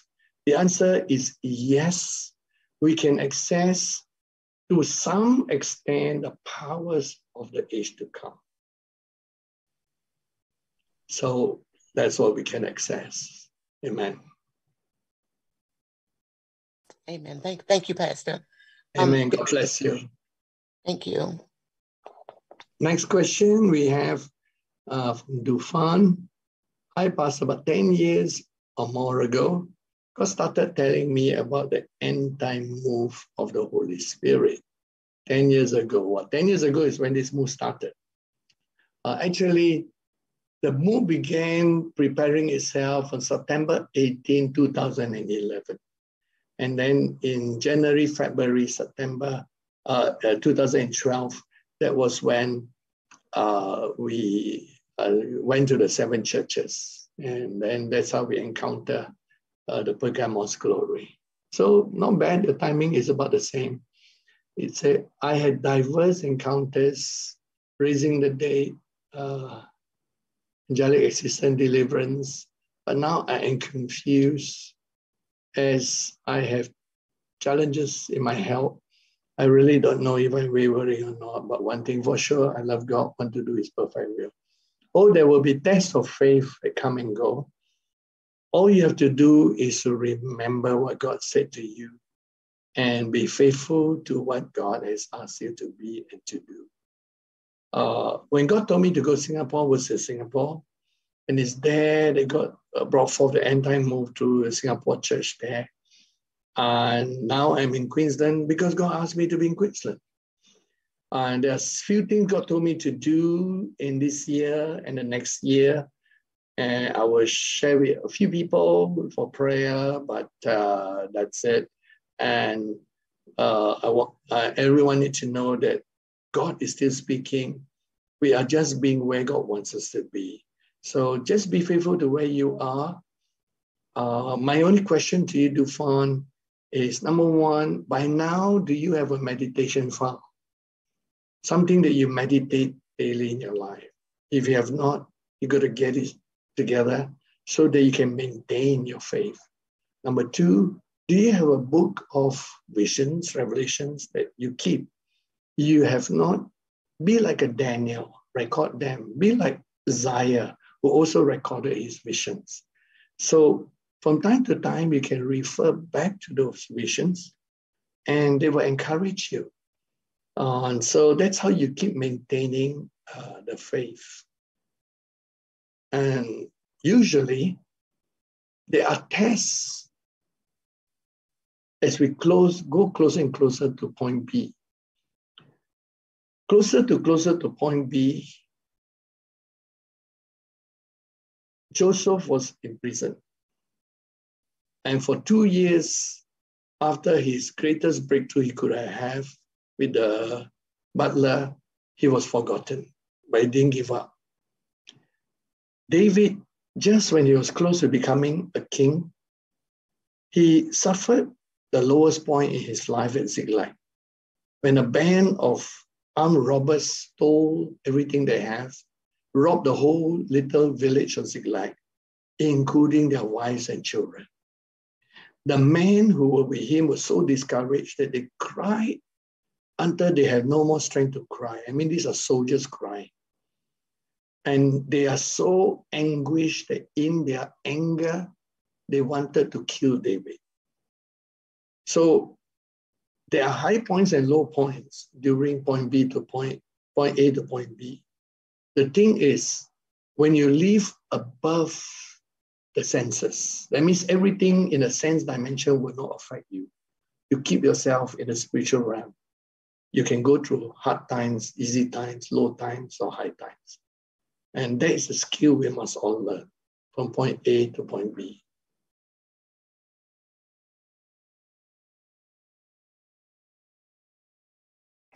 Um, oh, I have another question. So, um, thank you. Um, I'm, I'm finishing up the series on the presence of God, and I'd like to ask you, um, what what do you think I should study next? Uh, because there's so much I do want to study um, in um, all all of the teachings, but I would like to, you know, just get your recommendation of what you feel like that God would want me to study next. Okay, Elisa, you have been called to the dimension of worship. Your destiny is in worship. So I will encourage you to read as much as you can and to listen to all our past messages on worship. We have quite a lot of series on worship. Uh, there's a series I teach about worship following the seven feasts, uh, different different areas of worship. And the last series, as I think a year or two ago, when I taught about the book of Revelation, worship, and what they mean. So uh, go into those areas and you'll find that they will bless you very much. I, I feel like I want to cry right now because the Lord just keeps telling me that. And um, the Lord told me that I was going to be worshiping with the angels. And every time I worship, something happens.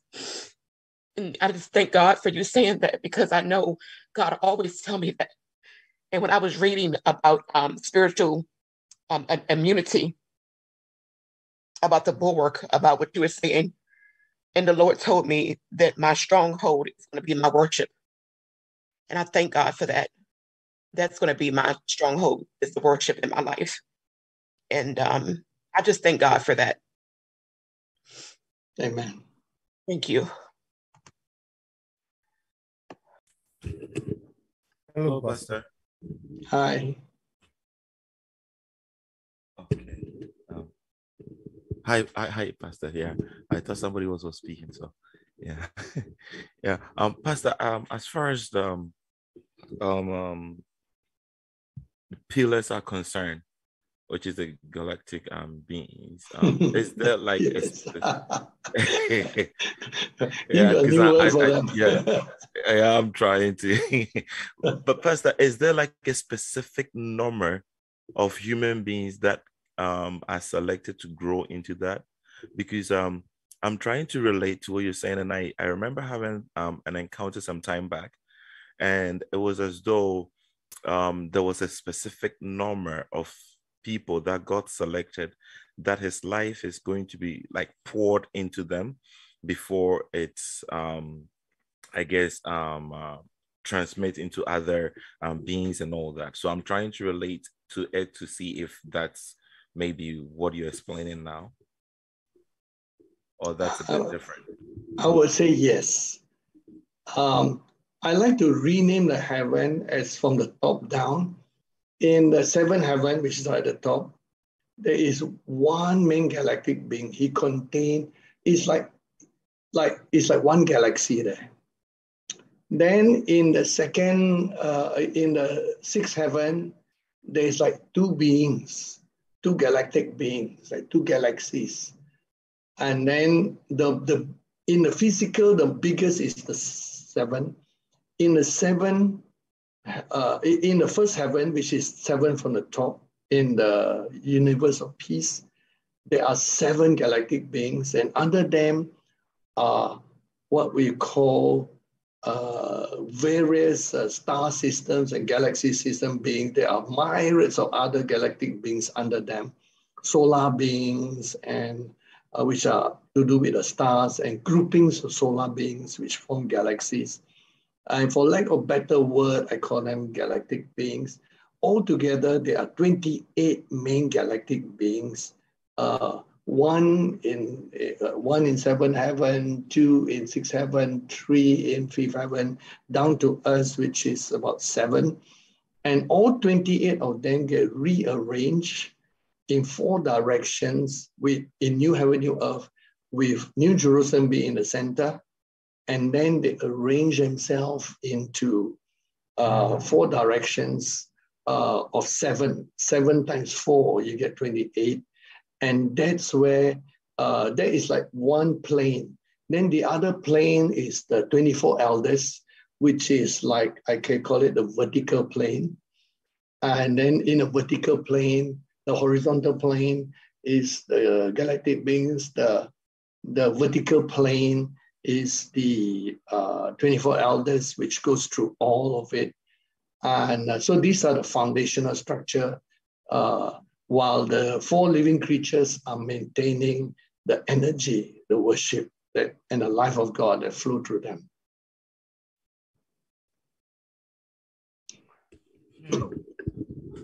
Um, okay, so Pastor, whilst, whilst you're speaking, I was trying to um, um, also visualize them um, uh, in terms of the um. Um, uh, Okay, uh, I, I think I think I think I'll pause here, but um, when I put my thoughts together, I'll, I'll get back. okay, yeah. Remember, they are in a different plane of existence. So when I say that there are seven galactic beings in in our heaven, first heaven, uh, it means that there are seven folding of space and time and dimension. Uh, until the physical one, which we are experiencing with our body at the moment. And so there are seven dimensional foldings to create our physical dimension.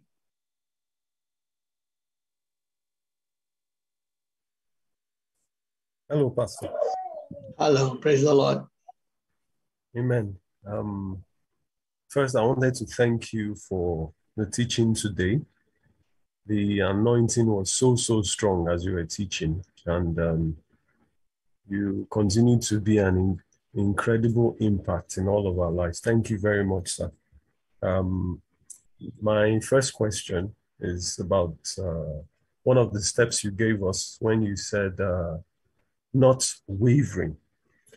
I wanted to ask if you could uh, expand a bit on that because I know you've also taught us that sometimes even Abraham wavered, where, or I, I would use the word waver, but maybe you use another term when maybe God told him he was going to have a child and he laughed, but he never spoke it out. So, is there a difference between? Could you just clarify that so to uh, give get a better understanding of what you mean by wavering? Um, okay, understand. Okay. In Romans chapter 4, it says Abraham did not waver. But when you actually examine his life in the book of Genesis, it seems like he wavered, but the Lord told me his word is true. Abraham never wavered in his spirit nor in his faith. Whatever things that we see to be wavering were not because he doubted God. So the Lord says to waver is to doubt and to enter into unbelief. And the Lord says, from the time that Abraham sacrificed and cut a covenant, he never ever doubted. His reactions are reactions, but he never entered into unbelief. Even in the short moment when he laughed, the fact that it triggered a positive thing, a laugh rather than a moan or complain, it shows just the physical level, but he never spoke it out. And that's why God accepted that he did not waver. Then the other point was when he had a child through, Ish, through Ishmael through Hagar. Abraham, in some manner, thought that perhaps this child could be the one. But it is because it's like the Israelite. They thought that Jesus is just a physical king when he's a spiritual king and a physical king eventually over the universe, which is much bigger. Jesus is like that, but the Israel see Jesus as that, like that. And um, so God sort of put up with us because he know how tiny creatures we are. Ants will always think like ants. So the ant must become human or enter into the thoughts of human to think like a human. Like, for example, when we are talking about great things and the seven thunders, I remember the night the seven thunders, November 14, 2012. Sisters were quarreling about petty issues after that. When the fate of the universe was being announced, fate of the universe, you know how big the universe is? The earth is that big. Even the planet Jupiter is that big compared to the earth. And the planet Jupiter compared to the sun is that much compared to the sun.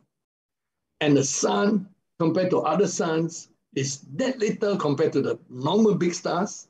And the sun, the biggest stars compared to the smallest galaxy is that little. And the, the biggest of the galaxy compared to the universe is that tiny but. So we are so many levels down tiny. And the fate of the universe is being spoken and two petty sisters quarrel.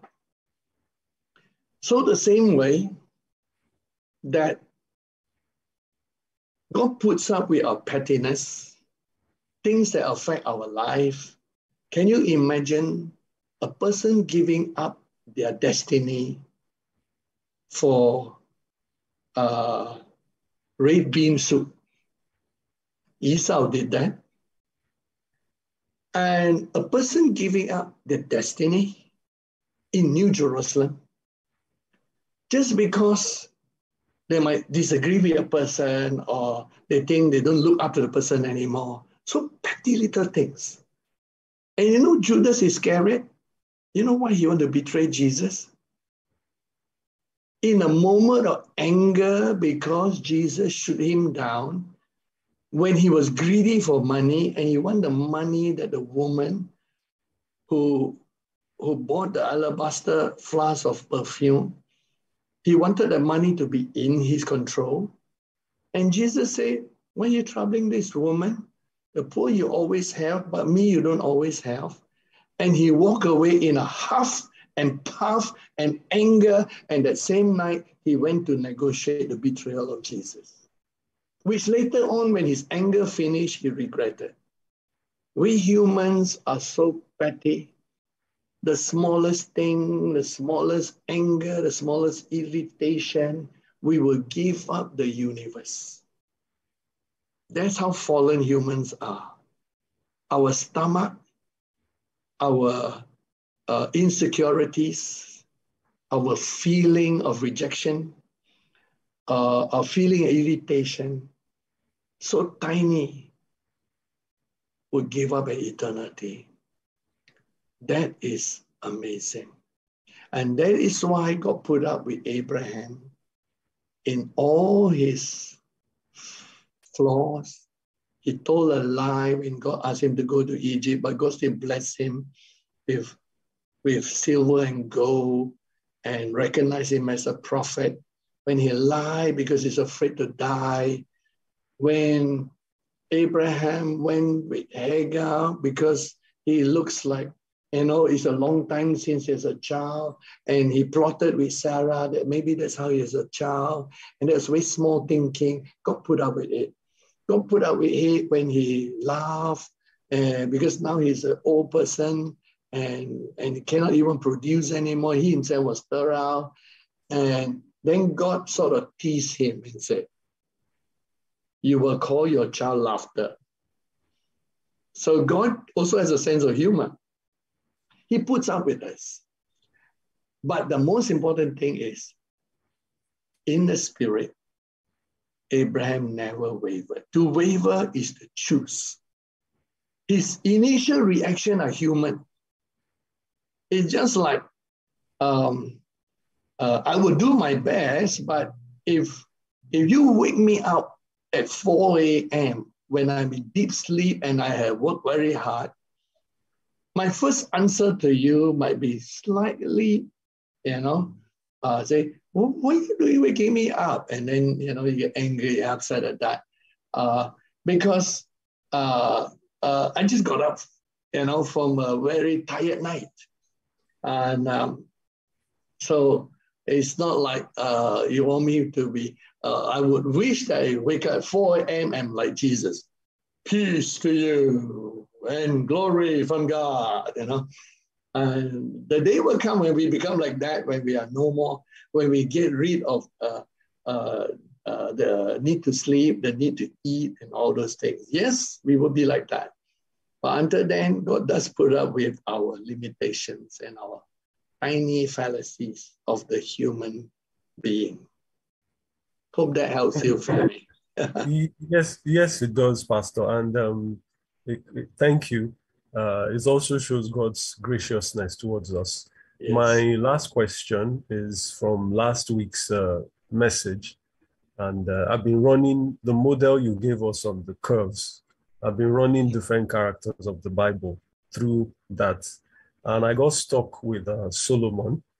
And mm. my question is Did Solomon, is it that Solomon ever got to the point where his down curve happened because you told us there's a developmental stage and i believe that accounts for when uh, he became king was given riches wisdom is it that the bible does not record uh, his own down curve did he fall before the down curve or could you just uh, use solomon to maybe buttress the point of the down curve. Thank you. Okay. Solomon was protected from the down curve. And if only he were allowed to experience more of the down, down curve, he would be better at handling well. Uh, how does a person get protected from the down curve? Whatever Solomon did to become king, he did it under the instruction of David. And I appreciate uh, rich people when they make their children go to normal school and live a normal life before they inherit their riches and their privilege. Because then they become more normal and appreciate what they had. Solomon was too protected, and he has become an example. And he actually has a small down curve and a small up curve. So the additional riches he had were the up curve of David that he was flowing in. Sometimes, you know, like in science, two waves come together.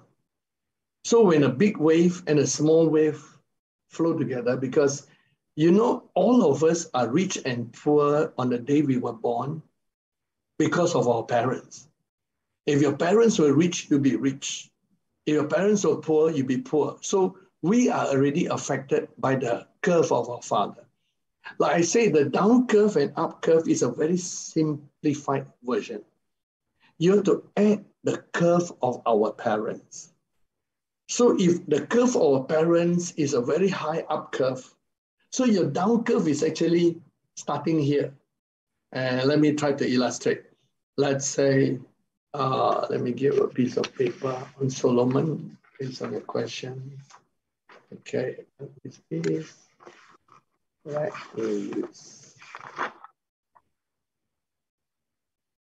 Okay, I can use this. And let me get this. Uh, oops. I have a blue.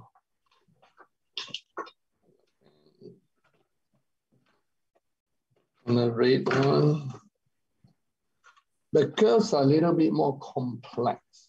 I'm glad you asked this question uh, because I'm sure other people uh, might ask the question, but they don't have opportunity to ask. Okay, let me do the curve and David's down curve, David's up curve.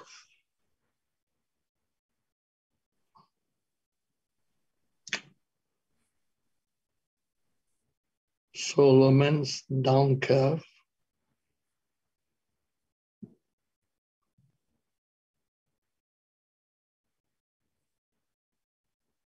Okay.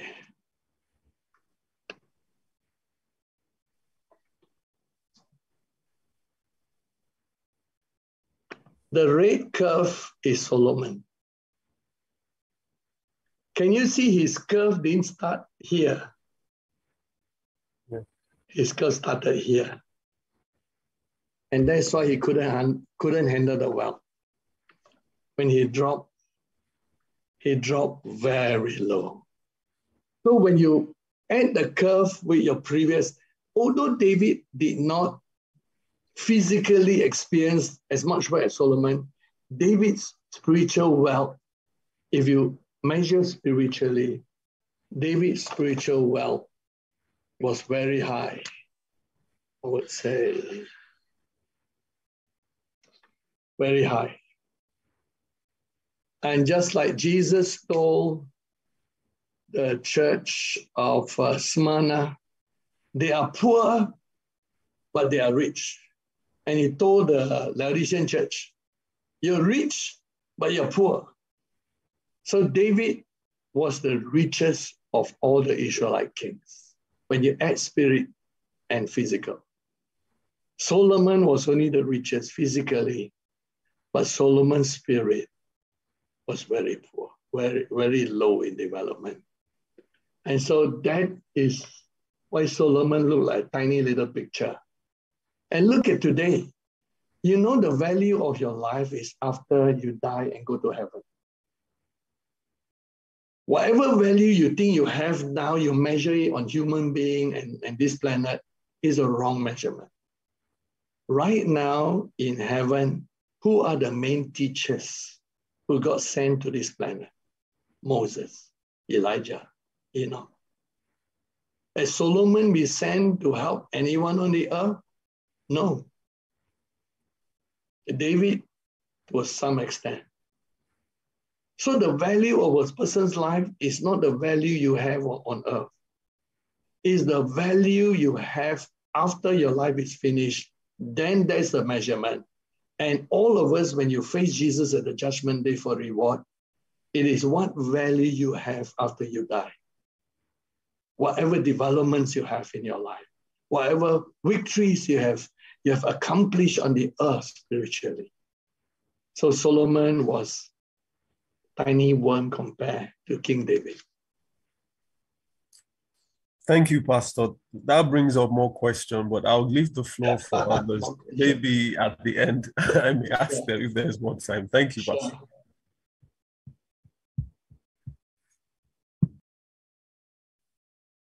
Oh, there's a question here. Let me look at that. Um, did Jacob get to have a sense of what could have happened to his son Joseph? Well, Joseph was in Egypt. Uh, since that's a question, I would say no because Jacob was too naturalized also. You know, when people are only concerned about the natural, they will not receive much spiritual thing. Next question Was the Joseph experience another test in his elderly life? Did he feel like he was being punished after suffering under late? Not, not Joseph, you're talking about Jacob. So, okay. Uh, Joseph never was under Laban uh, what Jacob explained that test in his elderly life, he feel like he was being punished after suffering under Laban, running away from his brother and losing his wife, Rachel. How painful could he have been for Jacob? Because this looks like another down curve for him. Okay. Don't forget, if you measure the age of Jacob, by the time he ran away, he's actually could be in his 80s, 90s. Based on our standards today, we will call it elderly. But yet he went on to uh, went on to have another seven plus seven years plus six, so altogether uh, 20 years under Laban. And I would say that Jacob has several down curves uh, when he was supposed to marry, he had, a down, he had a down curve at the end of seven years because he was shocked. Uh, Jacob gave the wrong daughter purposefully. Then he had to serve another seven years, so he went through. Then he had a hard time during his six years working for the animals. That was all down, down curve. And um, so when Laban was chasing him, God's angel stopped Laban. Remember, Laban talked about the angel appearing to him. He said, Don't say any evil or good, you just be neutral. And if, because the angel know he cannot be cannot be good, so they at least be neutral. And uh, and they don't want any good to come out of Laban because Laban is an idol worshiper. And so Jacob did not expect that his wife would die. His wife didn't die because of his of the of the uh, predestination. His wife died because of his curse that he spoke to whoever stole the idols, let the person die. So that cursed his own wife, and his wife died. And so he was deprived of the only wife that he loved. And uh, so that would be, I would say, a disaster experience by the, you know, down curves and up curves are predestination. But within them, based on our own fault. I believe Judas Iscariot would have his down curve and his up curve. But Judas Iscariot forfeited his up curve by betraying Jesus, and he just dropped straight down. Pew, no more curve.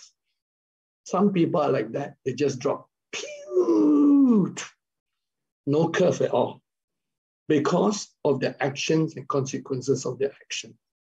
So I believe Jacob almost dropped, but by the grace of God, he still continued.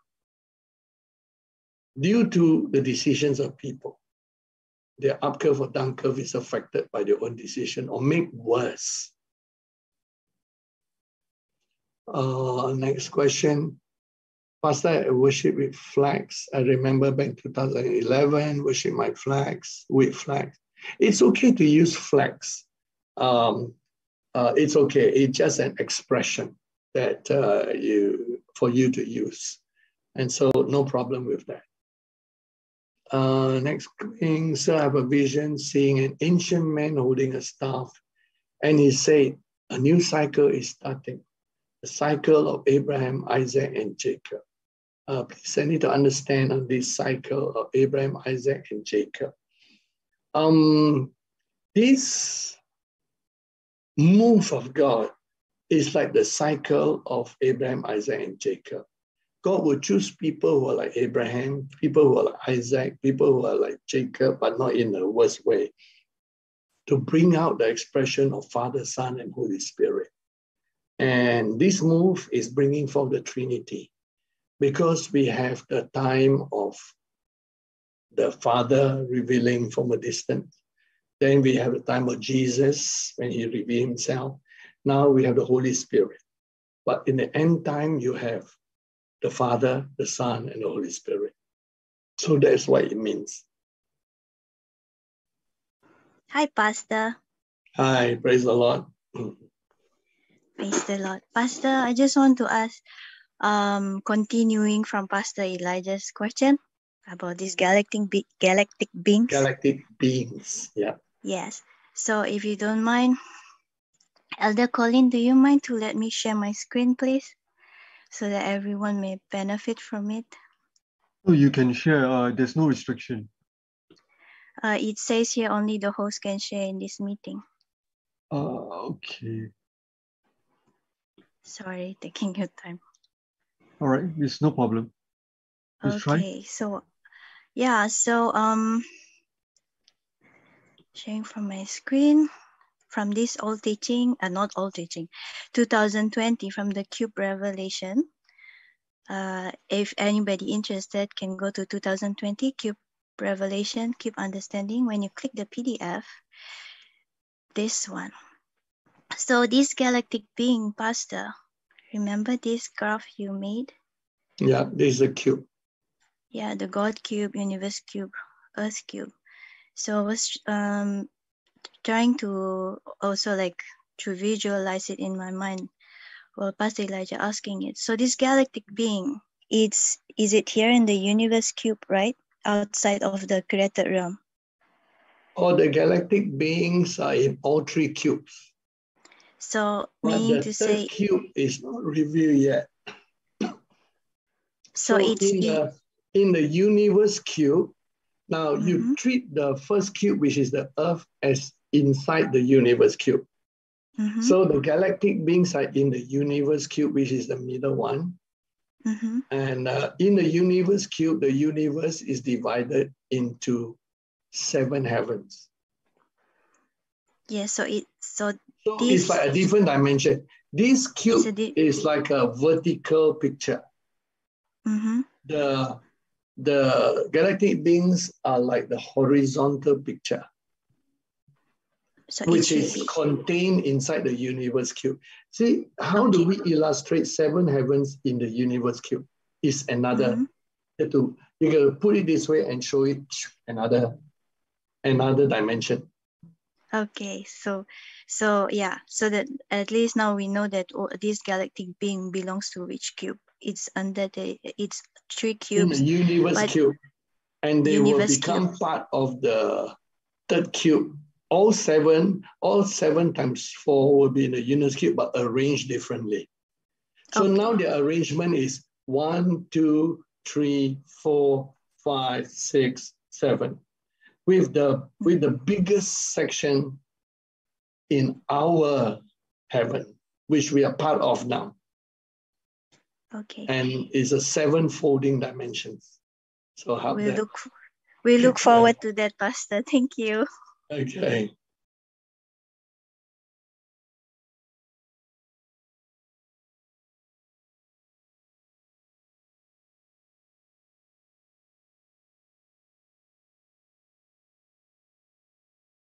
Praise God. Also, may I ask if anyone needs any prayer, like Colin says.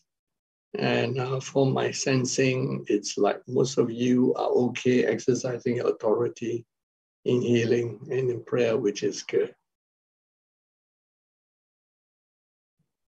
Okay, there's an addition to this question on the cycle.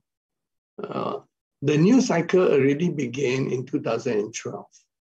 How do you partake in a move or cycle? By being part of the end time move and, and preparing yourself in this end time move. And the messages we teach are helping each one to prepare.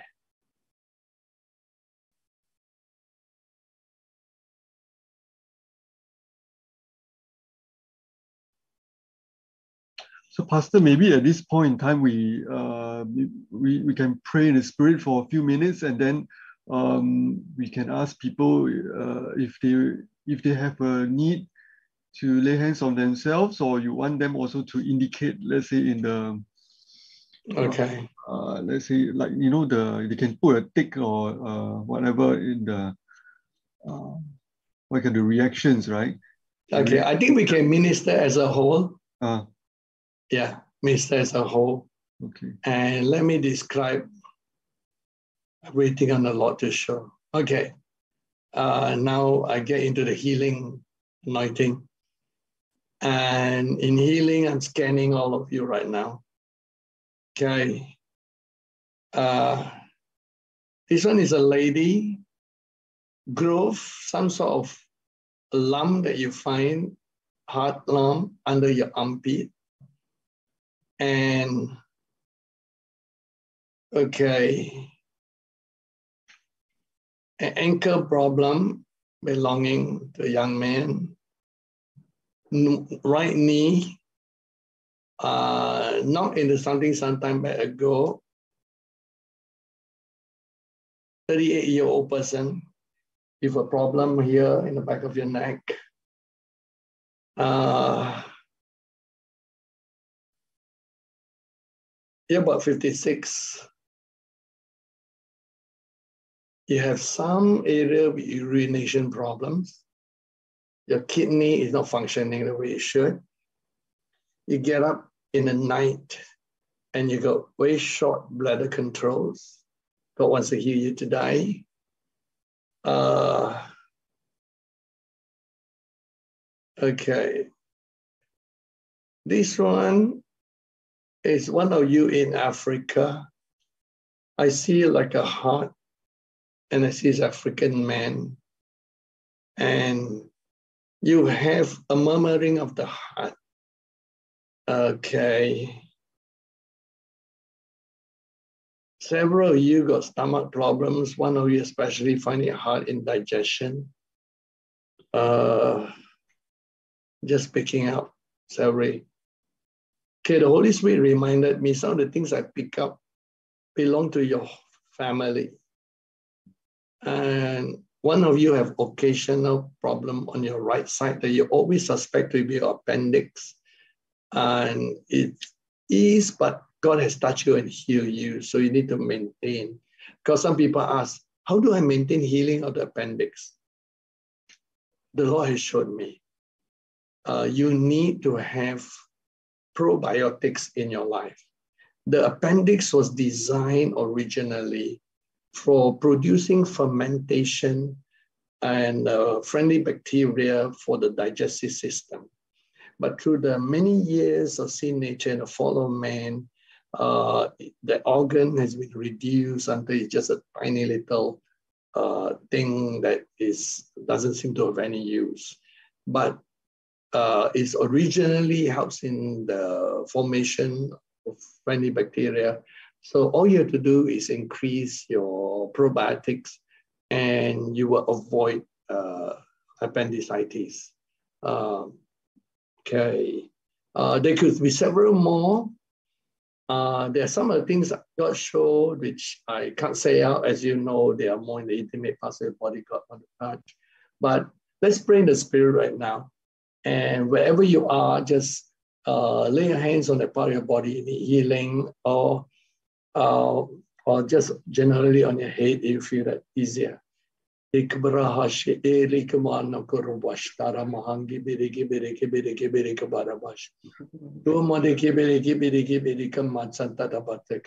I encourage uh, the three plants, uh, uh, Elijah and Abraham, to also unmute together with Colin and to pray along with me. Rabaha Sherike Birike Baha Shatara Bohonga Braba Stiki Merike Birike Birike Birikanga Braba Leke Birike Birikashta Yukuru Ushin Nega Brahma Sene Gibirike Birike Birike Banga Brahma Ziki Birike Kumara Baleke Birike Birike Baalak Brahma Nege Birike Birike Birike Brobashta Ramadeke Birike Birike Branga Baramaleke Birike Birike Bosh Kumala Bash Ramalege Be Egim Be Ingim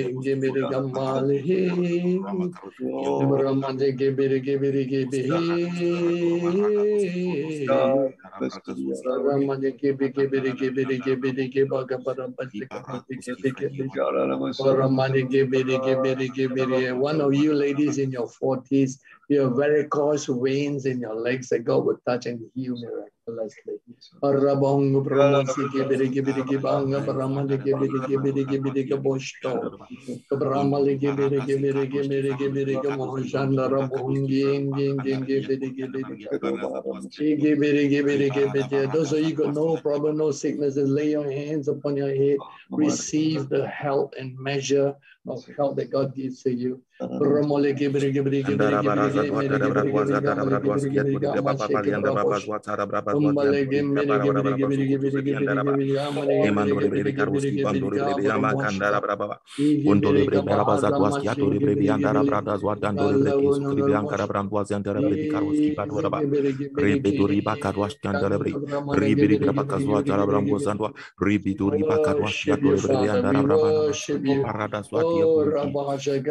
Imparting and strengthening your gifts also, strengthening your gift of vision, strengthening your gift of dreams, strengthening your inner eyes.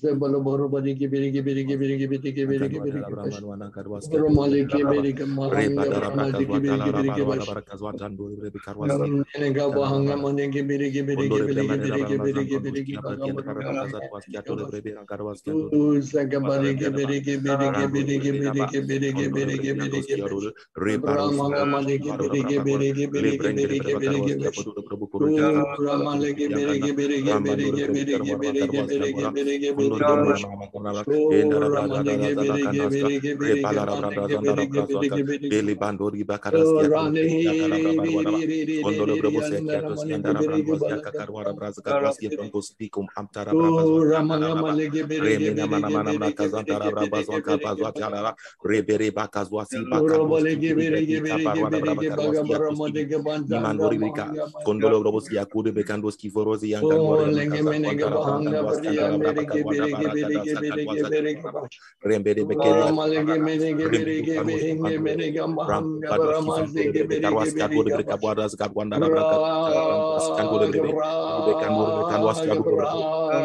Imana namasa kanto sere kandos kibreke antolo kando razo wash kazangandos kivara daba karas kigan kondos kiatu lebre bikar kwat ganto Atarara baranda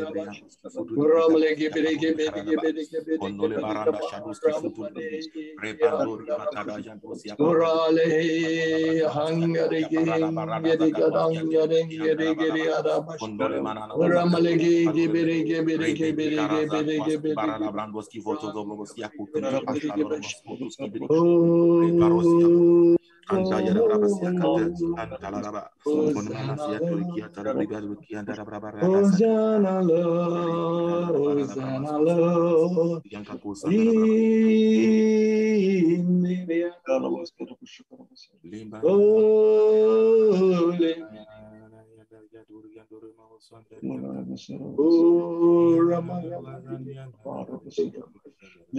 Ushararamadiki Gabra Asenenge Berige Agabara Balege Beriga Boshta Ikabra Boshta Basha Oh Father who are in heaven we release a wave of healing over your people.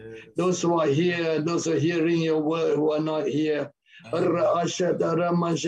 there's a man, you're not here yet, but you're going to listen to this message. on your right lung has given problems, your breathing difficulties at night when you sleep, be healed. Allah, for in God there's no time, healing is yours. Wherever all those are hearing this word, wherever you are, reach out, touch your head or any part of your body. And right now, as you release a wave of healing anointing, receive.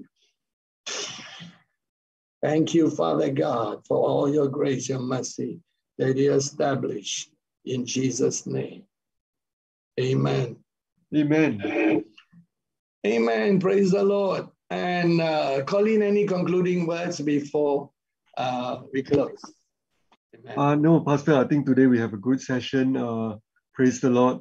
Um, yes, and indeed, uh, let's everyone continue to um, walk in the perfection of uh, spirit, soul, and uh, body.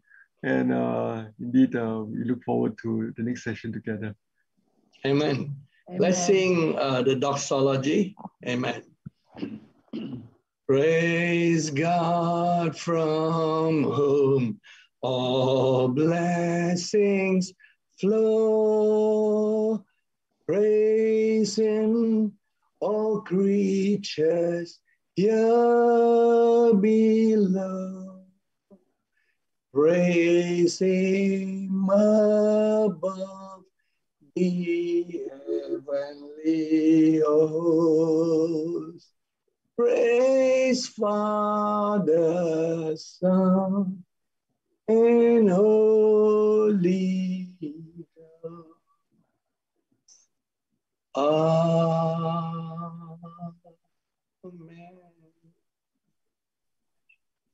Amen. Amen. God bless each one of you. Amen. Amen. God bless you, Pastor. everyone. Thank you, Pastor. God bless you. God bless you. God bless you, Pastor. Thank you. Thank you, Pastor. Bye. Thank you. Bye-bye. Thank you, Pastor. Bye.